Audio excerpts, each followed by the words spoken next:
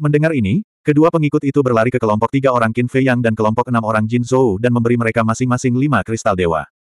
Kelompok enam Jin Zhou memegang lima kristal ilahi tanpa keraguan atau kejutan. Tapi kelompok tiga orang Qin Fei Yang sedikit bingung. Mengapa mereka harus diberikan lima kristal ilahi? Sebagai anggota Resource Palace, Anda harus tahu cara menghasilkan uang. Sedangkan untuk tahap kedua, gunakan lima kristal ilahi di tanganmu untuk mendapatkan lebih banyak kekayaan sebelum fajar. Kata Jin Fatso. Jadi begitu. Kelompok Qin Fei Yang yang terdiri dari tiga orang tiba-tiba mengerti. Tentu saja. Seorang pria menyukai uang dan mendapatkannya melalui Dao. Tidak seorang pun boleh merampok, merampok, atau mencuri. Anda juga tidak boleh menggunakan kekayaan Anda sendiri untuk menambah jumlah. Dan kamu juga tidak diperbolehkan menggunakan koneksimu untuk mengambil jalan pintas. Singkatnya, modalmu hanya lima kristal ilahi. Adapun cara mendapatkan lebih banyak, kamu hanya bisa mengandalkan otak dan kemampuanmu sendiri. Memahami. Jin Fatso berteriak. Dipahami. Kelompok enam Jin Zhou mengangguk. Kelompok Qin Fei Yang yang terdiri dari tiga orang saling memandang dan mengangguk. Selain itu, kali ini, Resource Palace hanya memiliki total enam tempat. Dengan kata lain, kalian bertiga akan tersingkir. Adapun kriteria eliminasi. Siapa pun yang memperoleh lebih sedikit kekayaan akan tersingkir. Jin Fatso selesai dan berkata, apalagi yang tidak kamu mengerti. Cepat bertanya. Huo Yi berkata, Saudara senior Jin, apakah ujian ini terbatas pada Istana Sembilan Surga atau di luar Istana Sembilan Surga? Jin Fatso berkata, tidak ada batasan. Kamu bisa pergi ke mana pun kamu mau. Jadi seperti itu. Ada satu pertanyaan lagi. Apakah kita bersembilan akan membentuk tim atau menempuh jalan kita sendiri? Huo Yi bertanya lagi. Tidak apa-apa membentuk tim atau menempuh jalan kita sendiri. Kata Jin Fatso.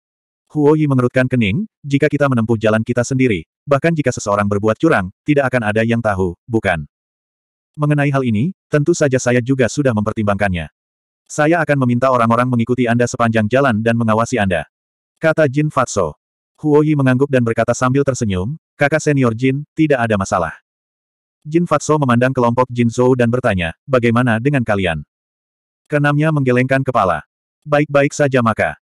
Jin Fatso menganggukkan kepalanya dan menatap ke sembilan orang itu. Lalu, dia berkata kepada kedua antek itu. Kalian berdua ikuti Jin Zhou dan yang lainnya. Kalian harus mengawasi mereka dengan cermat. Jangan biarkan siapa pun menipu. Iya. Keduanya mengangguk. Adapun saudara muda Jiang dan dua lainnya. Jin Fatso merenung sejenak, memandang Qin Fei Yang dan dua lainnya, dan berkata sambil tersenyum, saya akan mengawasinya secara pribadi. Apakah Anda keberatan? Tentu saja tidak.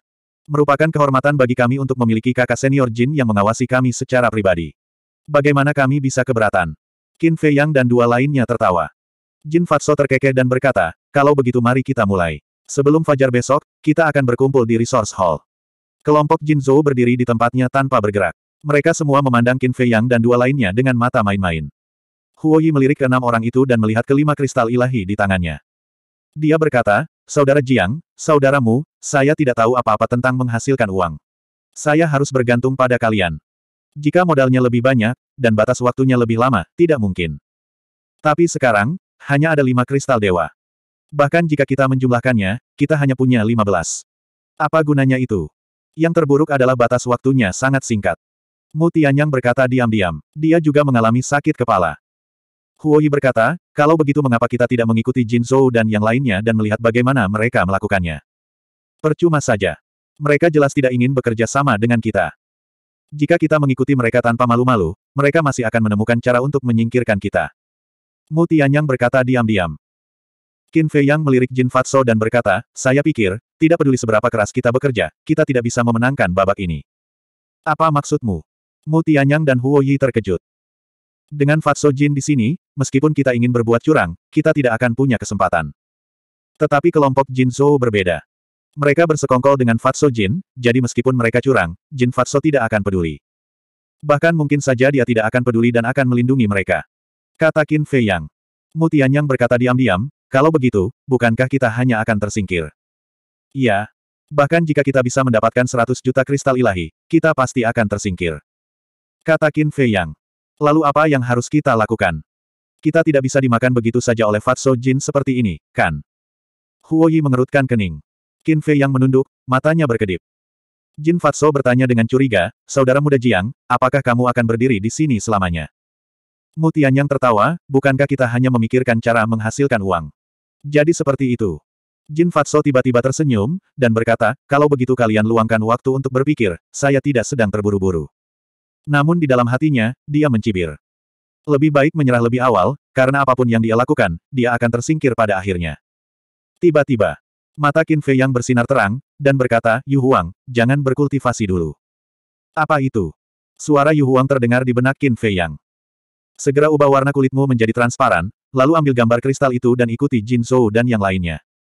Saya yakin mereka pasti akan berbuat curang. Jika saatnya tiba, catatlah proses mereka berbuat curang untuk saya. Pikir Qin Fei Yang. Dipahami. Yu Huang menjawab. Setelah dia siap, Qin Fei Yang menarik Yu Huang keluar tanpa ada yang menyadarinya. Yu Huang tidak hanya dapat mengubah warna kulitnya, dia juga tidak memiliki aura sedikit pun. Selama Anda tidak menggunakan akal ilahi Anda untuk mencari, meskipun benda itu berdiri di depan Anda, Anda tidak akan dapat menemukannya. Tetapi sekarang, Bahkan jika Anda menggunakan akal ilahi Anda, Anda tidak akan dapat menemukannya. Karena ada batu jiwa tersembunyi di mulutnya. Qin Fei yang tidak kekurangan batu jiwa tersembunyi saat ini. Selama periode waktu di alam kuno ini, dia juga mendapatkan banyak cincin alam semesta. Misalnya, cincin alam semesta Niyun dan Feng Zijun memiliki batu jiwa tersembunyi di dalamnya. Dengan kata lain, dengan batu jiwa penyembunyian, Yu Huang akan kebal. Tidak ada yang bisa menemukannya. Qin Fei yang diam-diam memperingatkan Yu Huang beberapa kali, lalu memandang Mu Tianyang dan Huo Yi, dan tertawa, ayo pergi. Ke mana? Mu Tianyang dan Huo Yi curiga. Ke kota naga langit. Qin Fei yang tersenyum dan membubung ke langit, terbang menuju tangga surga. Mu Tianyang dan Huo Yi saling memandang, dengan sedikit kecurigaan, mereka dengan cepat mengejarnya. Jin Fatso melirik Qin Fei Yang dan dua lainnya, dan berkata kepada Jin Zhou dan lima lainnya, kalian hati-hati, jangan biarkan siapa pun menangkapmu. Jangan khawatir. Jin Zhou diam-diam tersenyum. Jin Fatso melihat ke belakang Qin Fei Yang dan dua lainnya, sudut mulutnya menyeringai, dan kemudian mengejar Qin Fei Yang dan dua lainnya. Titik. Kakak Jin Zhou, apa yang harus kita lakukan? Setelah Qin Fei Yang dan yang lainnya pergi, mereka berlima memandang Jin Zhou dan bertanya. Apa yang harus kita lakukan?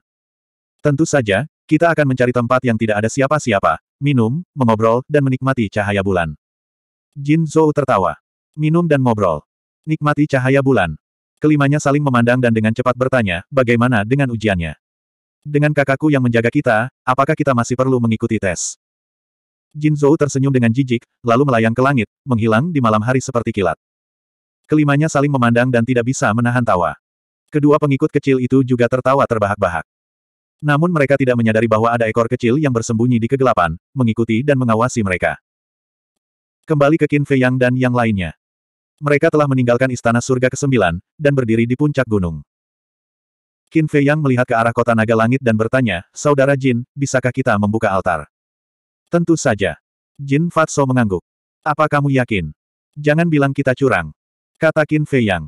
Adik laki-laki Jiang, dari apa yang kamu katakan, sepertinya aku menargetkanmu. Altar ini hanya alat transportasi, tidak ada hubungannya dengan ujian. Bahkan jika aku bilang kalian curang, tidak ada yang akan setuju. Jin Fatso berkata tanpa daya. Itu bagus.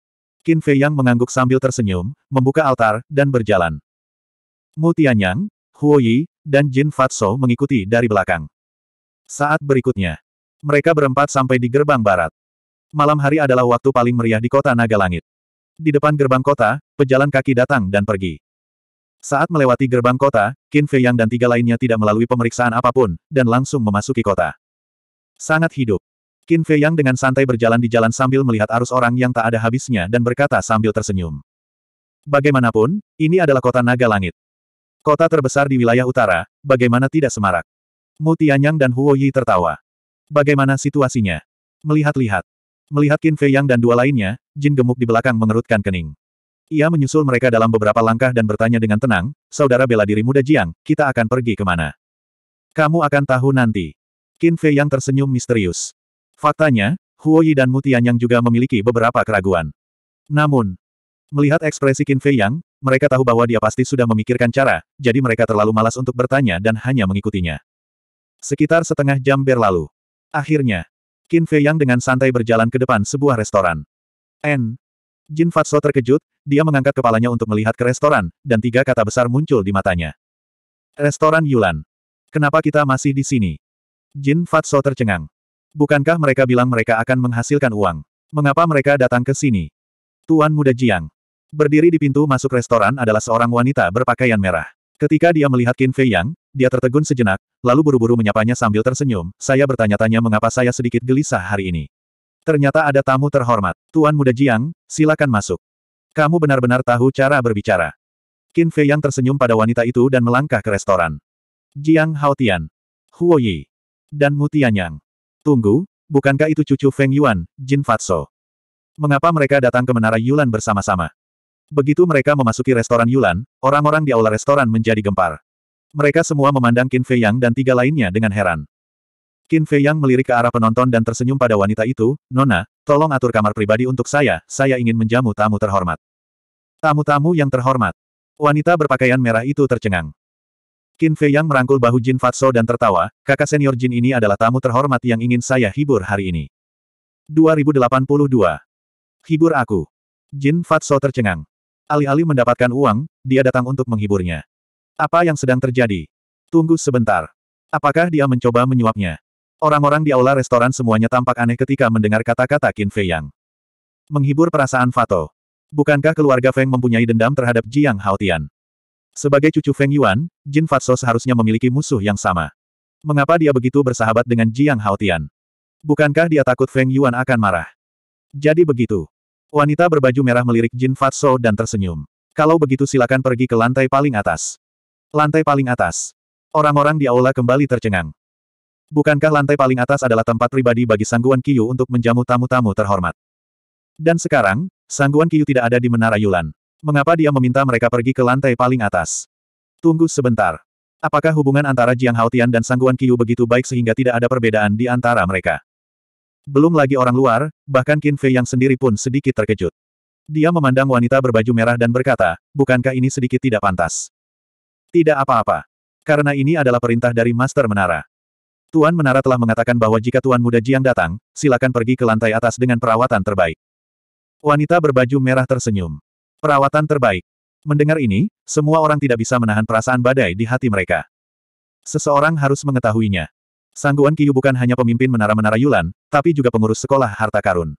Dia juga memiliki tuan yang menakutkan dan saudara perempuan yang kuat. Terlebih lagi, bakat bawaannya tidak buruk. Bisa dikatakan demikian. Wanita ini adalah standar putri kesayangan Tuhan. Entah berapa banyak pria di wilayah utara yang menganggapnya sebagai dewi. Tapi biasanya, kecuali di rumah lelang, tidak ada kesempatan untuk melihatnya, apalagi mendekatinya. Tapi sekarang, dia sebenarnya menganggap Jiang Haotian sebagai tamu terhormat yang penting. Apa yang dilakukan Jiang Haotian ini untuk mendapatkan bantuan dari Dewi ini? Jin Fatso juga sangat terkejut. Apa hubungan antara Jiang Haotian dan Sangguan Qiyu hingga pantas mendapatkan perlakuan seperti itu? Namun, Qin Fei yang tidak merasa senang dengan hal ini. Sebaliknya, dia diam-diam mengeluh di dalam hatinya. Meski terkesan layak untuk dipamerkan, namun justru membuatnya menjadi musuh publik. Tentu saja. Dia tahu bahwa dia tidak bisa menyalahkan Sangguan Qiyu. Sangguan Qiyu punya niat baik. Hanya dapat dikatakan bahwa beberapa orang terlalu iri dan tidak tahan melihat orang lain melakukan lebih baik dari mereka. Apalagi di depan wanita seperti Sangguan Kiyu. Wanita berbaju merah tersenyum dan berkata, Tuan Muda Jiang, tolong. Qin Fei yang melihat sekeliling. Sebagian besar orang memiliki sedikit kemarahan di mata mereka. Jelas sekali mereka cemburu. Dia menarik napas dalam-dalam, menangkupkan tangannya, dan berkata sambil tersenyum, kalau begitu aku akan menerima tawaranmu. Lalu, dia menyeret Jin Fatso ke lantai paling atas. Jin Fatso merasa sedikit tidak nyaman. Bagaimanapun juga, ini adalah pavilion Yulan, bukan pavilion Giok. Jika itu di rumah Sitar Giok, dengan hubungannya dengan Feng Xihan, dia benar-benar bisa memperlakukan dirinya sendiri sebagai pemilik rumah Sitar Giok. Bagaimanapun, mereka adalah sepupu. Namun di pavilion Yulan, dia hanyalah tamu biasa. Qin Fei yang tersenyum dan berkata, Kakak Jin, kamu adalah pria yang telah melihat dunia, mengapa kamu masih begitu pemalu? Jin Fatso menikmati sanjungan kali ini. Dia menegakkan punggungnya sedikit. Dengan perutnya yang besar, dia sangat bangga. Setelah memasuki ruang pribadi di lantai paling atas, Qin Fei Yang mempersilakan Jin Fatso untuk duduk. Dia memandang wanita berbaju merah dan berkata sambil tersenyum, Nona, saya ingin anggur terbaik dan hidangan terbaik. Dipahami. Wanita berbaju merah itu mengangguk dan berkata, silakan duduk. Saya akan mengaturnya sekarang. Kemudian, wanita berbaju merah itu berbalik dan keluar dengan cepat, menutup pintu. Saudara muda Jiang, apa yang sedang kamu lakukan? Bagaimana Jin Fatso bisa duduk diam? Begitu pintu ditutup, dia langsung bangkit dan bertanya. Duduk, duduk, duduk. Qin Fei yang bangkit dan mendorong Jin Fatso kembali ke tempat duduknya. Kemudian, dia kembali ke tempat duduknya dan menghela napas. Sejujurnya, kematian kakak senior Feng Zijun telah menjadi penyesalanku. Aku ingin berdamai dengannya, tetapi sekarang, aku bahkan tidak punya kesempatan untuk meminta maaf. Jin Fatso tertegun dan tersenyum, saya tidak menyangka saudara muda Jiang menjadi orang yang begitu sentimental. Tidak tidak tidak. Aku hanya membencinya. Feng Zijun adalah orang yang sangat baik. Bagaimana dia bisa mati begitu mudah? Jangan beritahu aku siapa orang itu. Kalau tidak, aku tidak akan membiarkan dia pergi. Qin Fei Yang berkata dengan marah. Saudara muda Jiang, saya yakin Zijun akan sangat senang jika dia mengetahui hal ini di dunia bawah. Jin Fatso tersenyum dan bertanya dengan curiga, tapi apa hubungannya dengan ujian hari ini? Ujian ini hanya bersifat sekunder. Ini adalah kesempatan langka. Hari ini, saya harus mentraktir kakak senior Jin ke sebuah pesta. Di masa depan, saya harus berterima kasih kepada kakak senior Jin karena telah merawat saya di Istana Surga ke-9. Qin Fei Yang menangkupkan tangannya dan tersenyum. Apa maksudmu? Saudara muda Jiang, apakah kamu benar-benar mencoba menyuapku? Biar ku beritahu, ini melanggar aturan. Kamu tidak bisa melakukannya.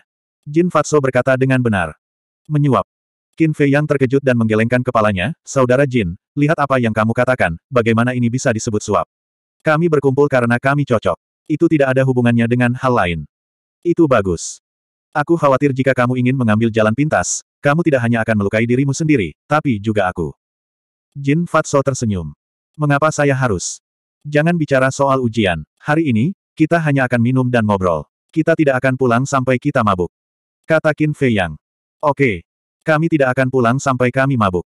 Jin Fatso mengangguk. Lagi pula, dia tidak akan mengikuti tes itu. Apa yang perlu ditakutkan? Kalau begitu, ayo kita minum. Dong. Sesaat kemudian, Wanita berbaju merah membawa beberapa pelayan dan membawakan meja besar berisi makanan lezat dan empat botol anggur. Mu Tianyang dengan cemas memegang sebotol anggur dan membuka tutupnya. Aroma anggur yang kuat segera keluar. Mata Mu Tianyang tiba-tiba berbinar dan tersenyum, ini adalah anggur yang terakhir kali diundang oleh Sang Guan untuk kita minum. Benar-benar nikmat.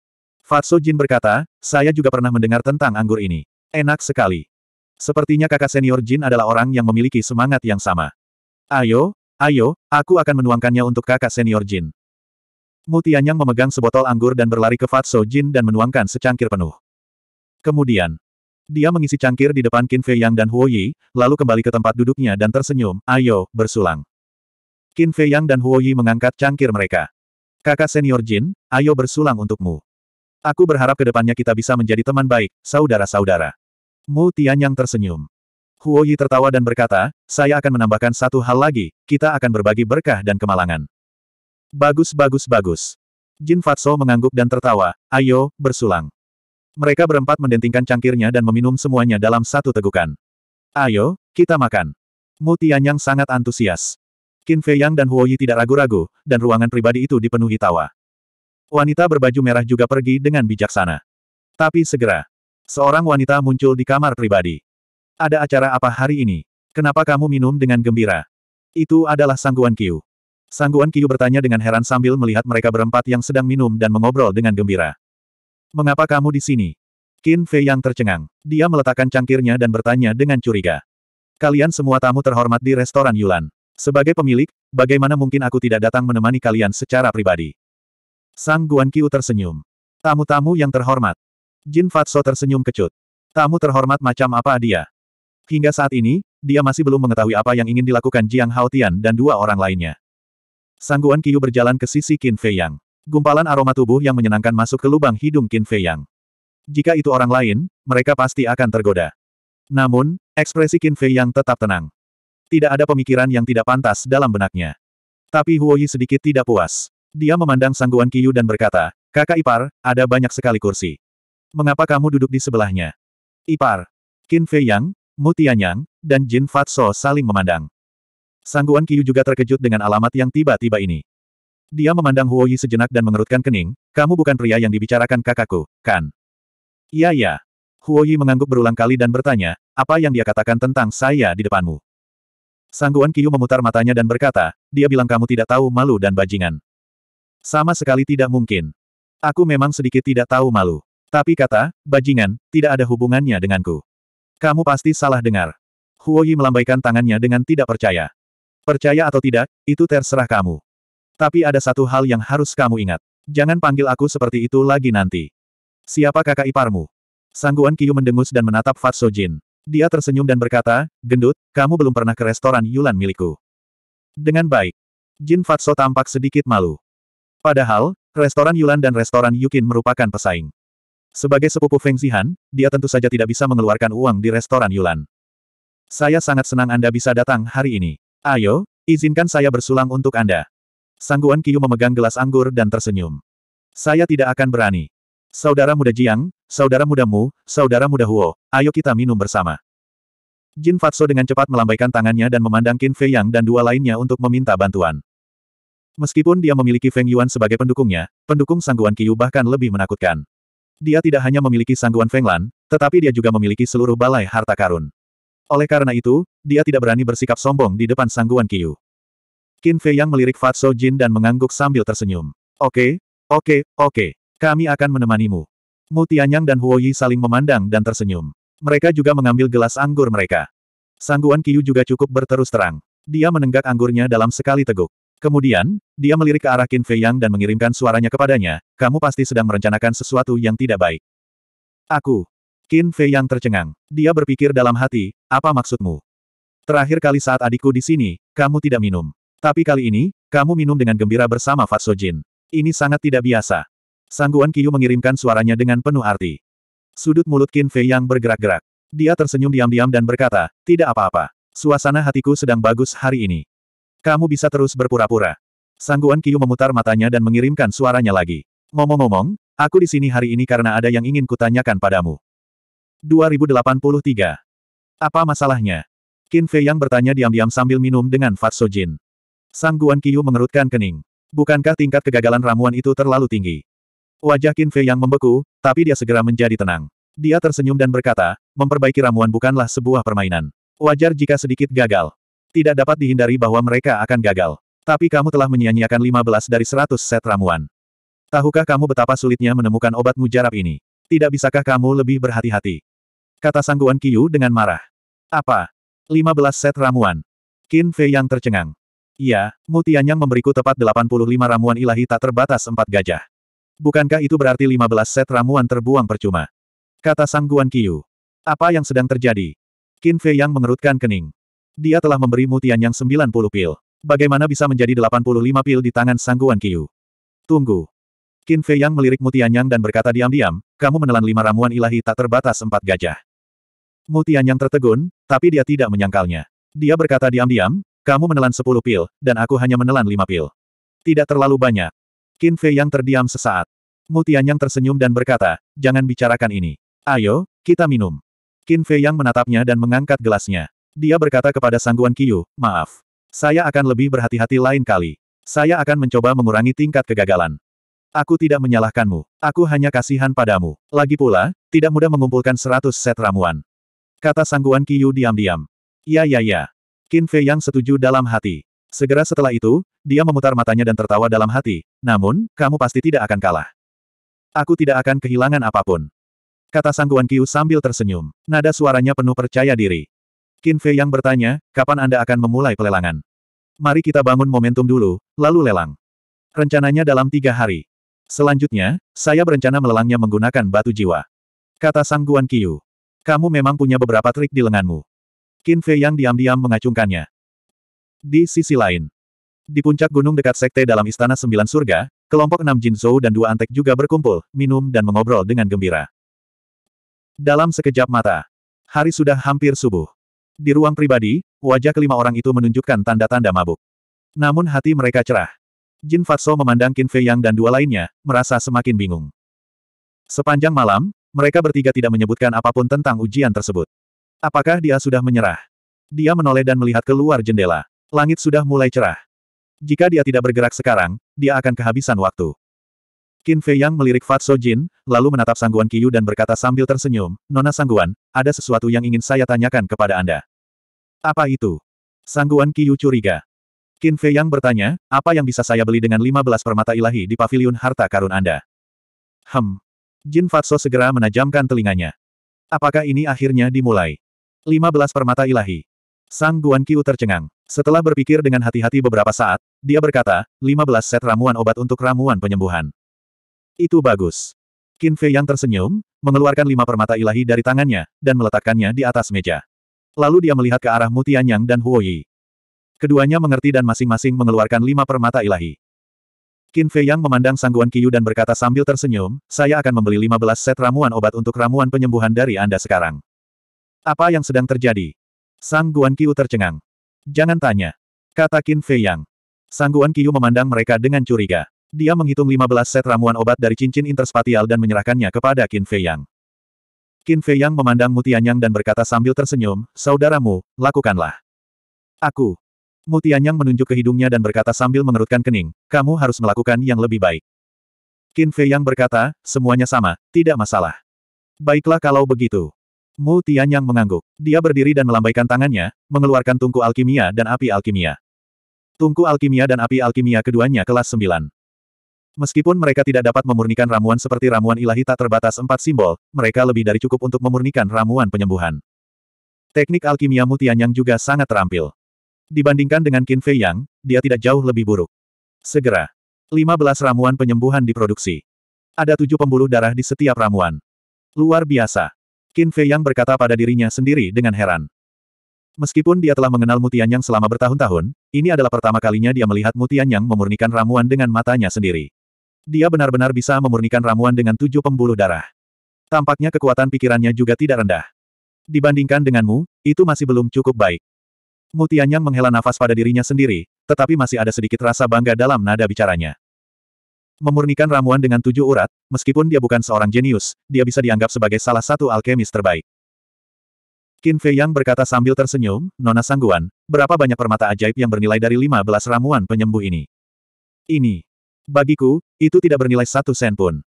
Bagaimanapun, ramuan penyembuh terlalu umum, dan mereka yang memiliki sedikit kekuatan pada dasarnya menggunakan ramuan kehidupan. Menurut harga pasar, ramuan penyembuh ini paling banyak bernilai dua permata ilahi. Sangguan Kiyu berkata setelah berpikir sejenak. Sedikit sekali. Setidaknya ada lima vena.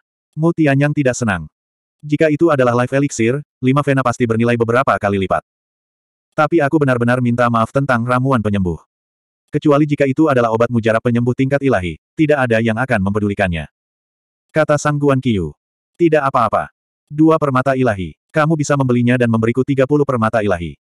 Qin Fei Yang berkata sambil tersenyum. Sang Guan Qiu memandang mereka bertiga dengan curiga. Apa yang sedang kamu lakukan? Sejujurnya, kami ingin memasuki Resource Hall, dan isi dari penilaian ini adalah menggunakan lima permata ilahi di tangan kami untuk mendapatkan lebih banyak permata ilahi. Kata Qin Fei Yang. Jadi begitu. Sangguan Kiyu tiba-tiba mengerti dan berkata sambil tersenyum, kalau begitu aku akan memberimu harga yang lebih tinggi. Bagaimana kalau masing-masing 10 juta permata ilahi? Saya yakin permata ilahi ini pasti akan membantu Anda lulus penilaian. Jin Fatso menyipitkan matanya dan menatap Qin Fei Yang dan dua lainnya. Selama Qin Fei Yang dan dua lainnya mengangguk, itu sama saja dengan melanggar aturan. Pada saat itu, dia secara alami memiliki alasan untuk melenyapkan mereka bertiga secara langsung. Qin Fei Yang melirik Fat So Jin, lalu menatap Sangguan Qiu dan berkata sambil tersenyum, itu tidak akan berhasil. Aturannya mengatakan bahwa kita tidak dapat menggunakan koneksi kita. Lakukan saja sesukamu. Jin Fat So mau tak mau merasa kecewa saat mendengarnya.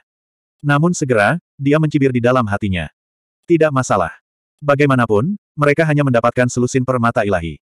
Mereka baru mendapatkan selusin permata ilahi setelah sepanjang malam. Jika berita ini tersebar, akan menjadi lelucon. Sangguan Qiu menatap Qin Fei Yang dalam-dalam dan mengangguk sambil tersenyum. Baiklah, kalau begitu kita ikuti aturannya. Saat dia berbicara, dia mengeluarkan 15 permata ilahi. Selain 15 permata ilahi yang diberikan Qin Fei Yang dan dua lainnya padanya, ada tepat 30 permata ilahi. Huo Yi melirik ke 30 permata ilahi dan berkata sambil mengerutkan kening, Saudara Jiang, saya khawatir itu tidak cukup. Sebelum Qin Fei Yang dapat berbicara, Fatso Jin berbicara terlebih dahulu, meskipun itu tidak cukup, tidak ada cara lain. Karena waktu sudah habis. Lihatlah keluar jendela. Qin Fei Yang dan dua lainnya melihat keluar jendela. Langit sudah cerah. Huo Yi dan Mutianyang segera mengerutkan kening. Mereka baru mendapatkan 15 permata ilahi. Saudara Jiang, menurutmu kita tidak bisa menang hanya dengan 15 permata ilahi ini, bukan? Obat apa yang kamu jual di labumu? Bisakah kamu memberitahu kami? Huo Yi bertanya melalui telepati. Mutianyang juga memasang ekspresi curiga di wajahnya. Qin Fei Yang tersenyum diam-diam dan berkata, jangan khawatir, saya berjanji kamu akan menang. Benar-benar. Keduanya masih skeptis. Benar-benar. Qin Fei Yang berkata diam-diam. Mendengar ini, Mu Tianyang dan Huo Yi diam-diam menghela nafas lega. Qin Fei Yang memandang Fatso Jin dan berkata sambil tersenyum, kakak senior Jin, apakah kamu bersenang-senang minum malam ini? Iya iya. Aku tidak pernah sebahagia hari ini. Kata Jin Fatso. Selama kamu bahagia. Qin Fei Yang tertawa dan menyimpan 30 permata ilahi. Dia berdiri dan berkata, karena ini sudah pagi, ayo kembali. Oke. Jin Fatso mengangguk. Qin Fei Yang memandang Sangguan Kiyu lagi dan berkata, masih ada yang harus saya lakukan. Saya akan menulis tagihan hari ini dan membayar Anda di lain hari. Sangguan Kiyu melambaikan tangannya dan berkata, tidak apa-apa. Ini traktiranku hari ini. Terima kasih banyak. Qin Fei Yang tidak berdiri pada upacara. Dia menangkupkan tangannya dan tersenyum, lalu membuka altar transmisi. Aula sumber daya. Kelompok Jinzhou yang terdiri dari enam orang dan dua pengikutnya telah kembali ke alun-alun. Setiap orang memiliki senyum cerah di wajah mereka. Suara mendesing. Ketika Qin Fei Yang dan yang lainnya bergegas kembali ke Istana Surga ke-9 dan mendarat di alun-alun, keenam orang itu segera melontarkan pandangan provokatif ke arah Qin Fei Yang dan dua lainnya. Qin Fei Yang menutup mata. Karena saat dia mendarat di alun-alun, dia merasakan sesuatu yang kecil masuk ke dalam celananya lalu naik ke pelukannya. Jelas sekali, makhluk kecil ini tidak lain adalah Yu Huang. Bagaimana itu? Qin Fei Yang mengirimkan suaranya kepadanya. Yu Huang berkata pada dirinya sendiri, mereka minum dan mengobrol sepanjang malam dan tidak melakukan apa pun. Kedua pengikut itu juga bersekongkol dengan mereka. Seperti yang kuharapkan. Qin Fei yang bergumam dan bertanya, apakah kamu merekamnya? Tentu saja. Kata Yu Huang. Bagus sekali. Pergilah ke kastil dan kirimkan padaku video yang kamu rekam. Kata Qin Fei Yang. Sambil berpikir, Yu Huang, yang bersembunyi di pelukannya, tiba-tiba menghilang. Fatso memandang kelompok Jin Zhou dan mengambil beberapa langkah ke depan. Menghadapi Qin Fei Yang dan yang lainnya, dia tersenyum dan berkata, malam telah berlalu, keluarkan hasilnya. Qin Fei Yang langsung mengeluarkan 30 seni dewa. N. Hanya itu yang kamu punya. Kelompok enam Jin Zhou memandang Qin Fei Yang dengan heran. Cukup banyak. Qin Fei Yang tersenyum. Ini banyak. Biarkan aku menghitungnya. Satu. Dua. Tiga. Haha, totalnya ada 30 kristal dewa. Jika kamu membaginya secara merata, masing-masing dari kamu akan mendapatkan lima kristal dewa. Apakah kamu yakin kamu di sini bukan untuk melucu? Keenam orang itu tertawa terbahak-bahak. Bagaimana denganmu? Qin Fei Yang bertanya sambil tersenyum. Kita. Keenam orang itu saling memandang dan tertawa lebih bahagia. Kemudian Jin Zhou mengeluarkan tas Qian Kun dari tangannya dan menggoyangkannya di depan kelompok Qin Fei Yang, sambil berkata, ada lebih dari 700 ribu kristal dewa di dalamnya. Bahkan jika kita membaginya secara merata, masing-masing dari kita akan memiliki lebih dari satu seratus ribu. Itu cukup untuk menghancurkanmu. 2084. Banyak. Qin Fei Yang terkejut. Tentu saja. Jin Zhou tersenyum bangga dan menyerahkan tas Qian Kun kepada Fatso. Jin Fatso menghitung dengan hati-hati dan mengangguk, memang ada 700 ribu permata ilahi. Luar biasa. Kamu mendapatkan 700 ribu permata ilahi dengan modal 5 permata ilahi dalam satu malam. Aku khawatir bahkan orang-orang di sekolah harta karun tidak dapat menandingimu. Qin Fei yang tertawa. Jangan terlalu menyindir. Kami tidak mencuri atau merampok. Kami mendapatkannya dengan kemampuan kami sendiri. Jin Zhou mendengus. Siapa tahu? Qin Fei yang tertawa.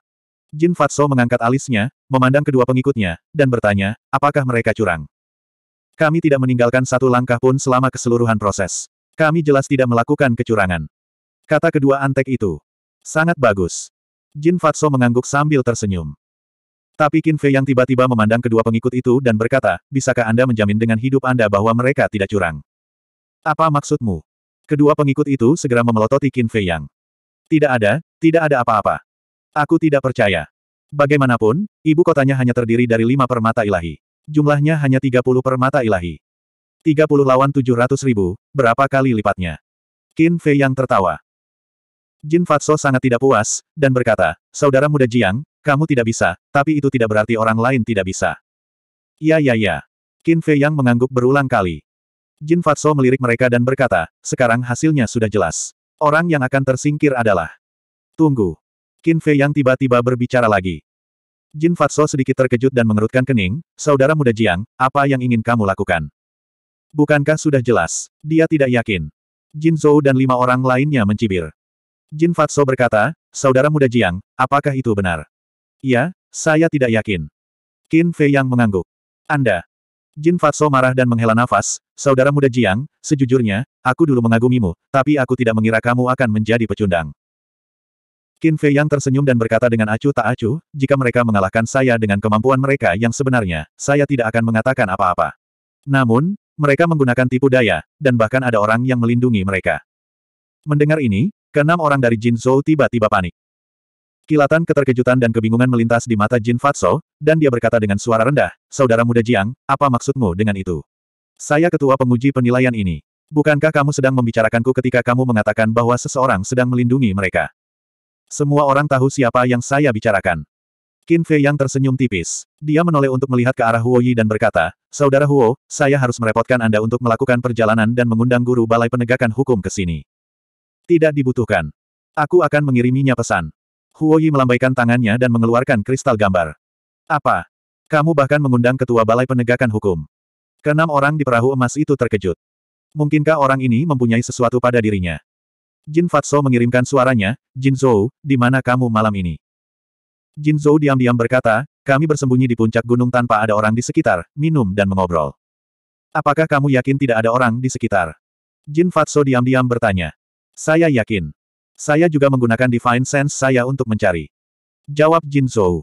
Itu bagus. Jin Fatso menghela nafas lega dan diam-diam mencibir, jika tidak ada bukti, maka saya ingin melihat trik apa yang bisa dimainkan orang ini. Berdengung. Segera setelah. Sebuah bayangan muncul. Itu adalah Sangguan Fenglan. Apa masalahnya? Sangguan Fenglan memandang Qin Fei Yang dan dua lainnya dan bertanya dengan samar. Qin Fei Yang menangkupkan tangannya dan tersenyum, murid ini ingin mengundang guru aula untuk datang ke aula sumber daya. Mengapa kamu ingin pergi ke Resource Hall? Sangguan Feng Lan curiga. Ada sesuatu yang harus saya minta kepada ketua balai untuk membantu kami menegakkan keadilan. Kata Qin Fei Yang. Tegakkan keadilan. Mata Sangguan Feng Lan berbinar dan berkata, tunggu aku, aku akan segera ke sana. Setelah mengatakan itu, bayangan itu menghilang. Dia benar-benar datang. Jin Fatso mengangkat alisnya tanpa bekas dan memandang Qin Fei Yang dengan penuh arti, Saudara muda Jiang, apa pun yang kamu lakukan, kamu harus memberikan jalan keluar pada dirimu sendiri. Qin Fei yang tercengang. Apakah dia mulai mengancamnya? Dia menangkupkan tangannya dan tersenyum, terima kasih atas pengajaranmu, kakak senior Jin. Jin Fatso tersenyum dan berkata, saya tidak berani mengajar, hanya pengingat yang baik. Terima kasih. Bagaimanapun juga, kakak senior Jin juga dengan baik hati mengajariku bagaimana menjadi seseorang. Qin Fei yang tertawa. Qin Fei yang sangat rendah hati. Dia seharusnya tidak khawatir, tetapi sebaliknya, Jin Fatso secara bertahap memiliki firasat buruk di hatinya. Sekitar beberapa saat kemudian, Sangguan Fenglan akhirnya tiba. Dia berdiri dalam kehampaan, gaun ungu muda dan rambut hitam lembutnya berkibar tertiup angin. Dia tampak seperti dewi yang turun ke dunia fana, memukau Huoyi. Salam, Tuan Balai. Tidak hanya Qin Fei Yang dan dua lainnya, Jin Fatso dan yang lainnya juga membungkuk. Sangguan Fenglan melirik Jin Fatso dan yang lainnya, lalu menatap Qin Fei Yang dan berkata, ada apa? Qin Fei Yang berkata, Tuan Balai, Izinkan murid ini bertanya, jika orang-orang di balai sumber daya melakukan kesalahan, dapatkah Anda melakukan sesuatu? Omong kosong. Ketua balai ini adalah ketua balai penegakan hukum. Selama itu adalah seseorang dari Istana Sembilan Surga, ketua balai ini berhak menghukum mereka. Kata Sang Guan Fenglan. Itu bagus. Qin Fei Yang mengangguk dan berkata, kemudian murid ini akan bertanya lagi, jika orang-orang di Resource Hall menyalahgunakan kekuasaan mereka dan melanggar hukum, bagaimana mereka harus dihukum? Jika ringan, mereka akan diusir dari Istana Sembilan Surga. Jika berat, mereka akan dieksekusi di tempat. Kata Sangguan Feng Lan tanpa ragu-ragu. Mendengar kalimat ini, tatapan Jin Fatso tiba-tiba sedikit bergetar. Ini adalah tanda hati nurani yang bersalah. Orang yang melakukan kesalahan paling takut mendengar kata, kematian. Lalu bagaimana dianggap ringan dan berat? Kata Qin Fei Yang. Sangguan Feng Lan mengerutkan kening tidak sabar dan berkata, jika ada yang ingin kamu katakan, katakan saja, mengapa bertanya begitu banyak pertanyaan. Hall Master ini memiliki penilaiannya sendiri. Oke. Kalau begitu, Hall Master, silakan lihat videonya dulu. Qin Fei Yang mengeluarkan kristal gambar, dan dengan lambaian tangannya, cahaya ilahi menyapu dan bergegas ke langit, dan kemudian sebuah gambar perlahan terbuka. Apa itu? Semua orang memandang dengan curiga. Huo Yi dan Mutianyang juga tidak tahu apa yang sedang terjadi. Tapi segera, wajah Jin Fatso dan Jin Zhou berubah, dan mulut mereka terus bergumam. Bagaimana mungkin? Mu Tianyang dan Jin Zhou tersenyum. Ternyata orang ini sudah mengaturnya. Melihat ekspresi Sangguan Fenglan lagi, itu sangat dingin. Video yang direkam Yu Huang sangat panjang, dan setelah sekian lama, gambar yang berkedip berhenti. Pada saat yang sama ketika gambar itu berhenti, tubuh Sangguan Fenglan melonjak dengan kemarahan yang sangat besar, dan pada saat yang sama, dia menundukkan kepalanya dan menatap Jin Fatso dan Jin Zhou, serta dua pengikut kecilnya. Hall Master, kami salah, tolong selamatkan hidup kami. Kecuali Jin Fatso, semuanya berlutut di tanah dalam sekejap, memohon berulang kali. Jin Fatso tidak berlutut, bukan karena ada yang mendukungnya, tapi karena dia takut konyol. Seluruh dirinya menjadi panik yang tidak bisa dihilangkan. Bolehkah saya bertanya kepada Hall Master, praktik pilikasi dan penipuan seperti ini dianggap ringan atau berat? Qin Fei yang menyingkirkan kristal gambar itu dan bertanya sambil tersenyum. Jin gendut. Sangguan Fenglan berteriak dengan dingin. Jin Fatso dengan cepat berlutut di tanah dan terus bersujud, berseru, Hall Master, murid ini bingung dan melakukan hal bodoh seperti itu, mohon ampun. Bingung. Kamu benar-benar berani. Seorang murid kecil ingin menutupi langit di istana Jiutian. Teriak Sang Guan Fenglan. Tidak, tidak, tidak, murid ini tidak melakukannya, murid ini tidak melakukannya. Murid ini salah, murid ini tidak akan berani melakukannya lagi, mohon ampun dan biarkan murid ini pergi kali ini. Jin Fatso menangis putus asa. Bagaimana jadinya seperti ini? Jiang Haotian sedang minum bersamanya di Menara Yulan, tapi mengapa dia memegang video ini di tangannya? Mengasihani. Sangguan Fenglan tertawa marah dan berteriak, di mana Feng Yuan? Suaranya seperti guntur, bergema ke segala arah. Desir. Segera. Seorang lelaki tua berambut merah turun ke alun-alun. Jika bukan Feng Yuan, siapa lagi yang bisa melakukannya? Dan hal ini juga membuat khawatir banyak murid yang datang untuk menonton pertunjukan tersebut. Feng Yuan memandang Qin Fei Yang dan dua lainnya, lalu pada Jin Fatso dan yang lainnya yang berlutut di tanah, dan tiba-tiba merasa ada yang tidak beres. Dia memandang Sangguan Feng Lan dengan curiga dan berkata, ada apa? Jiang Haotian, berikan video itu kepada Hall Master of Resource Hall kami untuk dinikmati. Kata Sangguan Feng Lan. Iya. Qin Fei Yang mengangguk dan mengeluarkan kristal video. Apa? Mereka minum dan mengobrol sepanjang malam. Jin Fatso ini terlalu berani, bukan? Beraninya dia melindungi mereka seperti ini. Murid-murid yang datang untuk menonton pertunjukan tersebut melihat video dalam kehampaan, di satu sisi mereka merasa tidak percaya, dan di sisi lain, mereka dipenuhi dengan kemarahan yang benar. Ini hanya mencoreng reputasi Istana Jiutian. Bajingan. Aku membiarkanmu melakukan pengawasan karena aku percaya padamu, tapi kamu melakukan ini di belakangku. Siapa yang memberimu keberanian? Setelah menonton, Feng Yuan juga sangat marah. Dia melangkah ke depan Jin Fatso dan menamparkan wajahnya. Jin Fatso berguling di tempat seperti bola karet, dengan hidung hitam dan mata bengkak. Tapi dia tidak peduli tentang itu.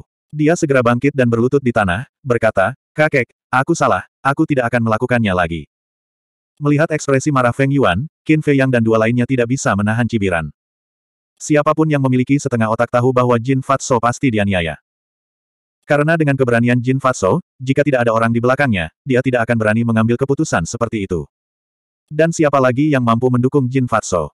Itu dia, Feng Yuan. Sangguan Feng Lan memandang Feng Yuan dan bertanya, Feng Yuan, menurutmu bagaimana masalah ini harus ditangani? Feng Yuan memandang Sangguan Feng Lan, lalu dengan muram menatap Qin Fei Yang dan dua lainnya, dan berteriak, keluarkan dia dari istana Jiutian. Itu terlalu ringan. Dia hanya seorang murid, namun dia berani melakukan hal seperti itu. Apa pendapatnya tentang kita, para ketua Ola, dan tetua agung? Lagi pula, menurutku masalah ini tidak sesederhana itu. Kata Sang Guan Fenglan. Apa maksudmu? Feng Yuan mengangkat alisnya. Pada awalnya, Feng Wenhai lah yang menjebak Jiang Haotian dan yang lainnya, hampir membunuh mereka. Kemudian Jin Yunchang lah yang dengan sengaja mengatur agar Jiang Haotian dan yang lainnya pergi ke Sein Peak, membangkitkan kebencian para murid Sein Peak dan hampir membunuh mereka. Dan sekarang, cucumu juga mulai membuat rencana melawan mereka. Feng Yuan, jangan salahkan aku karena curiga, tapi siapa dalang di balik semua ini? Sang Guan Fenglan bertanya. 2085. Feng Yuan mengerutkan kening, kamu ingin mengatakan bahwa orang tua ini yang memerintahkannya. Aku tidak mengatakan itu. Aku hanya merasa ini sedikit aneh. Ada begitu banyak orang di Istana Surga ke-9. Mengapa orang-orang yang berkomplot melawan Jiang Haotian dan yang lainnya berasal dari keluarga Fengmu? Kata Sang Guan Fenglan. Bukankah itu maksudmu? Sudah kubilang, Sangguan Feng Lan, jangan memfitnahku. Feng Yuan berkata dengan marah. Jangan salah paham, aku hanya ingin tahu, karena kamu bilang itu bukan kamu, maka itu pasti tidak ada hubungannya denganmu. Namun, masalah ini harus dihukum berat. Kalau tidak, tidak akan ada efek jerah. Sekarang, aula ini akan mengumumkan secara terbuka bahwa Jin Fatso dan Jin Zhou serta yang lainnya telah menipu atasan dan bawahan mereka. Kejahatan mereka tidak dapat ditoleransi. Siapa pun yang terkait dengan masalah ini akan dieksekusi. Teriak Sang Guan Fenglan. Apa? Dieksekusi. Wajah Jin Fatso dan Jin Zhou menjadi pucat. Kedua pengikut kecil itu juga langsung roboh ke tanah, wajah mereka pucat. Pasalnya, Sangguan Fenglan pernah mengatakan bahwa siapa pun yang terlibat dalam masalah ini akan dieksekusi. Tentu saja, ini termasuk mereka. Feng Yuan juga tercengang saat itu juga. Belum lagi yang lain, Jin Fatso adalah cucu kandungnya. Darah lebih kental dari air. Bagaimana dia bisa menerima eksekusi Jin Fatso? Sangguan Feng Lan memandang Feng Yuan dan berkata, Feng Yuan, apakah kamu ingin melakukannya sendiri, atau haruskah saya yang melakukannya? Feng Yuan menatap sangguan Feng Lan dan berkata dengan suara yang dalam, mereka memang salah, tapi tidak perlu dieksekusi. Melakukan kesalahan sebesar itu tidak perlu dilakukan. Feng Yuan, seberapa besar hatimu? Apakah kamu ingin menunggu mereka melewati kita, melewati kepala tetua pertama sebelum mereka bisa dieksekusi? Atau maksudmu karena mereka ada hubungannya denganmu, mereka bisa bersikap lunak? Teriak Sang Guan Feng Lan. Mata Feng Yuan bergetar, dan dia buru-buru berkata, aku tidak bermaksud begitu. Lalu apa maksudmu?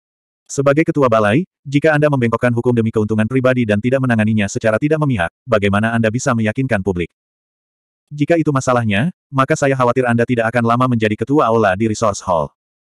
Wajah Sangguan Feng Lan penuh amarah. Tubuh Feng Yuan tiba-tiba bergetar, dan sedikit kepanikan muncul di matanya. Apa yang dia maksud? Mungkinkah tetua agung sudah mengetahui hal ini dan sangat marah? Feng Yuan, kamu bukan murid biasa. Kamu adalah pemimpin istana sembilan surga kami. Terkadang, kamu harus mengetahui batas kemampuanmu. Sangguan Feng Lan menghela nafas dan berkata dengan nada lebih lembut. Feng Yuan menatap tajam ke arah Sangguan Feng Lan, lalu perlahan menutup matanya dan berkata dengan lemah, kamu adalah seorang penegak hukum. Lakukan sesuai keinginanmu. Kakek, aku tidak ingin mati. Selamatkan aku. Mendengar ini, Jin Fatso menjadi cemas. Keenam orang Jin Zhou juga panik. Jika Feng Yuan membantu mereka, mereka mungkin masih memiliki peluang untuk bertahan hidup. Tapi sekarang, bahkan Feng Yuan tidak peduli. Siapa lagi yang bisa menyelamatkan mereka? Sangguan Feng Lan melirik Feng Yuan dan melambaikan tangannya dengan ringan. Gelombang kekuatan ilahi muncul dan berubah menjadi untayan jarum perak halus yang memancarkan ketajaman yang menusuk tulang. Jin Fatso dan yang lainnya putus asa. Jangan bunuh aku. Tuan Balai Tuan, saya mohon, tolong jangan bunuh saya. Ini tidak ada hubungannya denganku.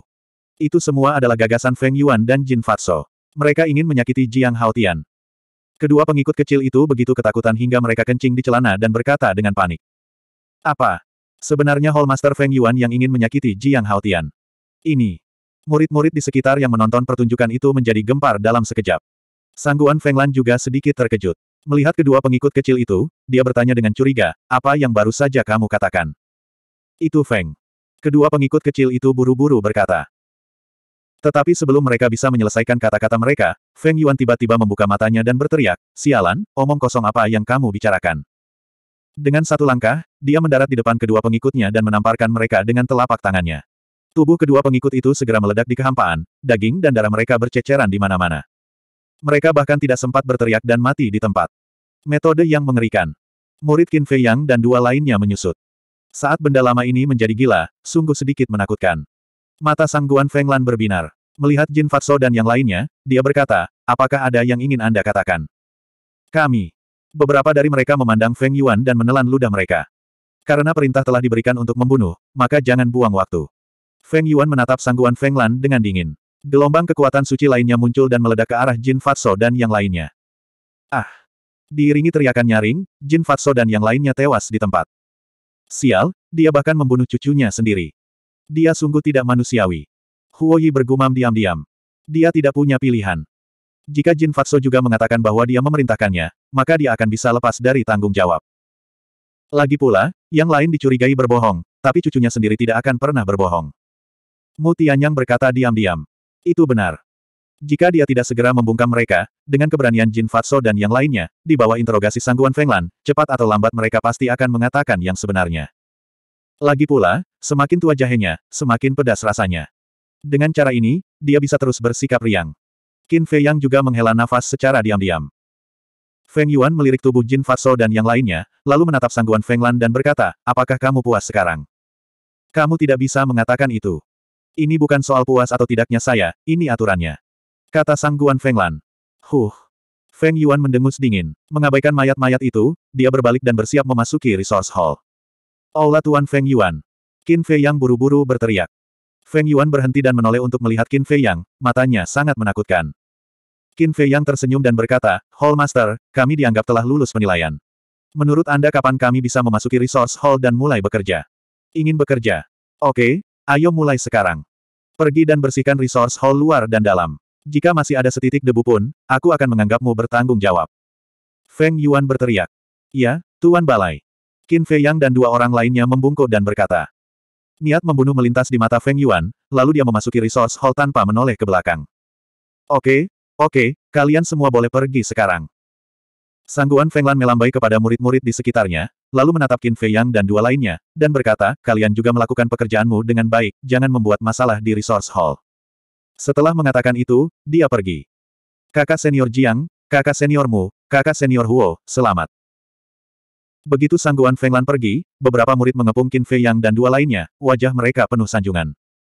Tetapi sebelum Qin Fei Yang dan dua orang lainnya dapat berbicara, beberapa orang maju dan menyeret orang-orang itu kembali. Apa yang sedang kamu lakukan? Apakah kamu tidak tahu sifat Hall Master Feng Yuan? Beraninya kamu dekat dengannya. Kali ini, mereka membunuh Fat Sojin. Ketua Balai Feng Yuan pasti tidak akan melepaskan mereka. Hati-hati jangan sampai terbakar. Sekelompok orang berbisik. Iya. Sepertinya kita tidak bisa menjilat mereka. Bukan saja kita tidak boleh menjilat mereka, tapi kita juga harus menjaga jarak dari mereka. Ya ya ya. Itu. Kakak senior Jiang, kakak seniormu, kakak senior Huo, silakan saja. Kami akan datang dan menemuimu saat kami ada waktu luang. Pergi pergi pergi. Setelah berbisik beberapa saat, sekelompok orang tersenyum pada Qin Fei Yang dan dua lainnya, lalu berbalik dan pergi dengan cepat. Semuanya, apakah mereka mengira kita tuli? Mu Tianyang sedikit marah. Meskipun orang-orang itu dengan sengaja merendahkan suara mereka, dengan kultivasi mereka saat ini, mustahil bagi mereka untuk lepas dari telinga mereka. Baiklah baiklah. Mereka juga takut membawa masalah pada diri mereka sendiri. Itu bisa dimengerti. Apalagi aku merasa lebih nyaman seperti ini. Qin Fei yang tersenyum. Beberapa orang suka dikelilingi oleh sekelompok orang untuk menyanjung mereka. Tapi Qin Fei yang sedikit muak dengan ini. Karena orang seperti ini pada dasarnya sangat munafik. Biasanya, mereka akan mengangguk dan membungkuk kepada Anda, tetapi ketika tiba saat kritis, mereka akan lari lebih cepat daripada kelinci. Mereka tidak bisa diandalkan. Mari kita hentikan omong kosong ini dan bersihkan. Kalau tidak, Feng Yuan akan benar-benar melumpuhkan kita. Huo Yi melirik Qin Fei Yang dan dua lainnya, lalu melihat ke resource hall yang besar dengan ekspresi tak berdaya. Tidak mudah untuk memasuki resource hall, tetapi pada akhirnya, mereka diminta untuk membersihkan. Bukankah ini menyia-nyiakan bakat? Mutianyang melirik mayat Fatso Jin dan dua lainnya, dan berkata, bagaimana kita harus menangani ini? Ini. Qin Fei Yang merenung sejenak dan berkata, mengapa kita tidak menguburnya saja? Itu tidak benar. Bagaimanapun, Fatso Jin adalah cucu Feng Yuan, dan Jin Zhou ini juga berhubungan dengan Feng Yuan. Mutianyang memandang Qin Fei Yang dan berkata. Itu masuk akal. Qin Fei Yang mengangguk. Setelah berpikir sejenak, dia mengerutkan kening dan berkata, tetapi Feng Yuan tidak memberitahu kami cara menghadapinya. Huo Yi berkata, kirimkan saja ke ruang tunggunya dan biarkan dia mengurusnya sendiri. Mulut Qin Fei Yang dan Mutianyang bergerak-gerak. Sekarang, mengirimkan mayat-mayat ini ke Feng Yuan sama dengan menambahkan bahan bakar ke dalam api, bukan? Tapi sekali lagi, melakukan hal ini cukup menarik.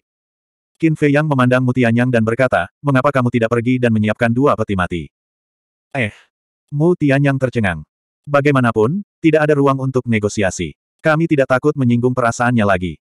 Selain itu, kami juga sedang memikirkan dia, jangan sampai jenazah cucunya terbongkar di hutan belantara. Kata Qin Fei Yang. Ya ya ya. Huo Yi mengangguk. Kalian. Mutianyang memandang keduanya tanpa daya dan mengangguk. Oke, saya akan menyiapkan dua peti mati. Sedangkan untuk orang-orang ini, saya akan mencari tempat untuk menguburkan mereka. Qin Fei Yang dan Huo Yi mengangguk. Mutianyang melambaikan tangannya, menggulung mayat-mayat itu, dan naik ke udara, menghilang ke aliran gunung seperti kilat. 2086. Tidak lama kemudian, Mutianyang membawa kembali dua peti mati kayu baru.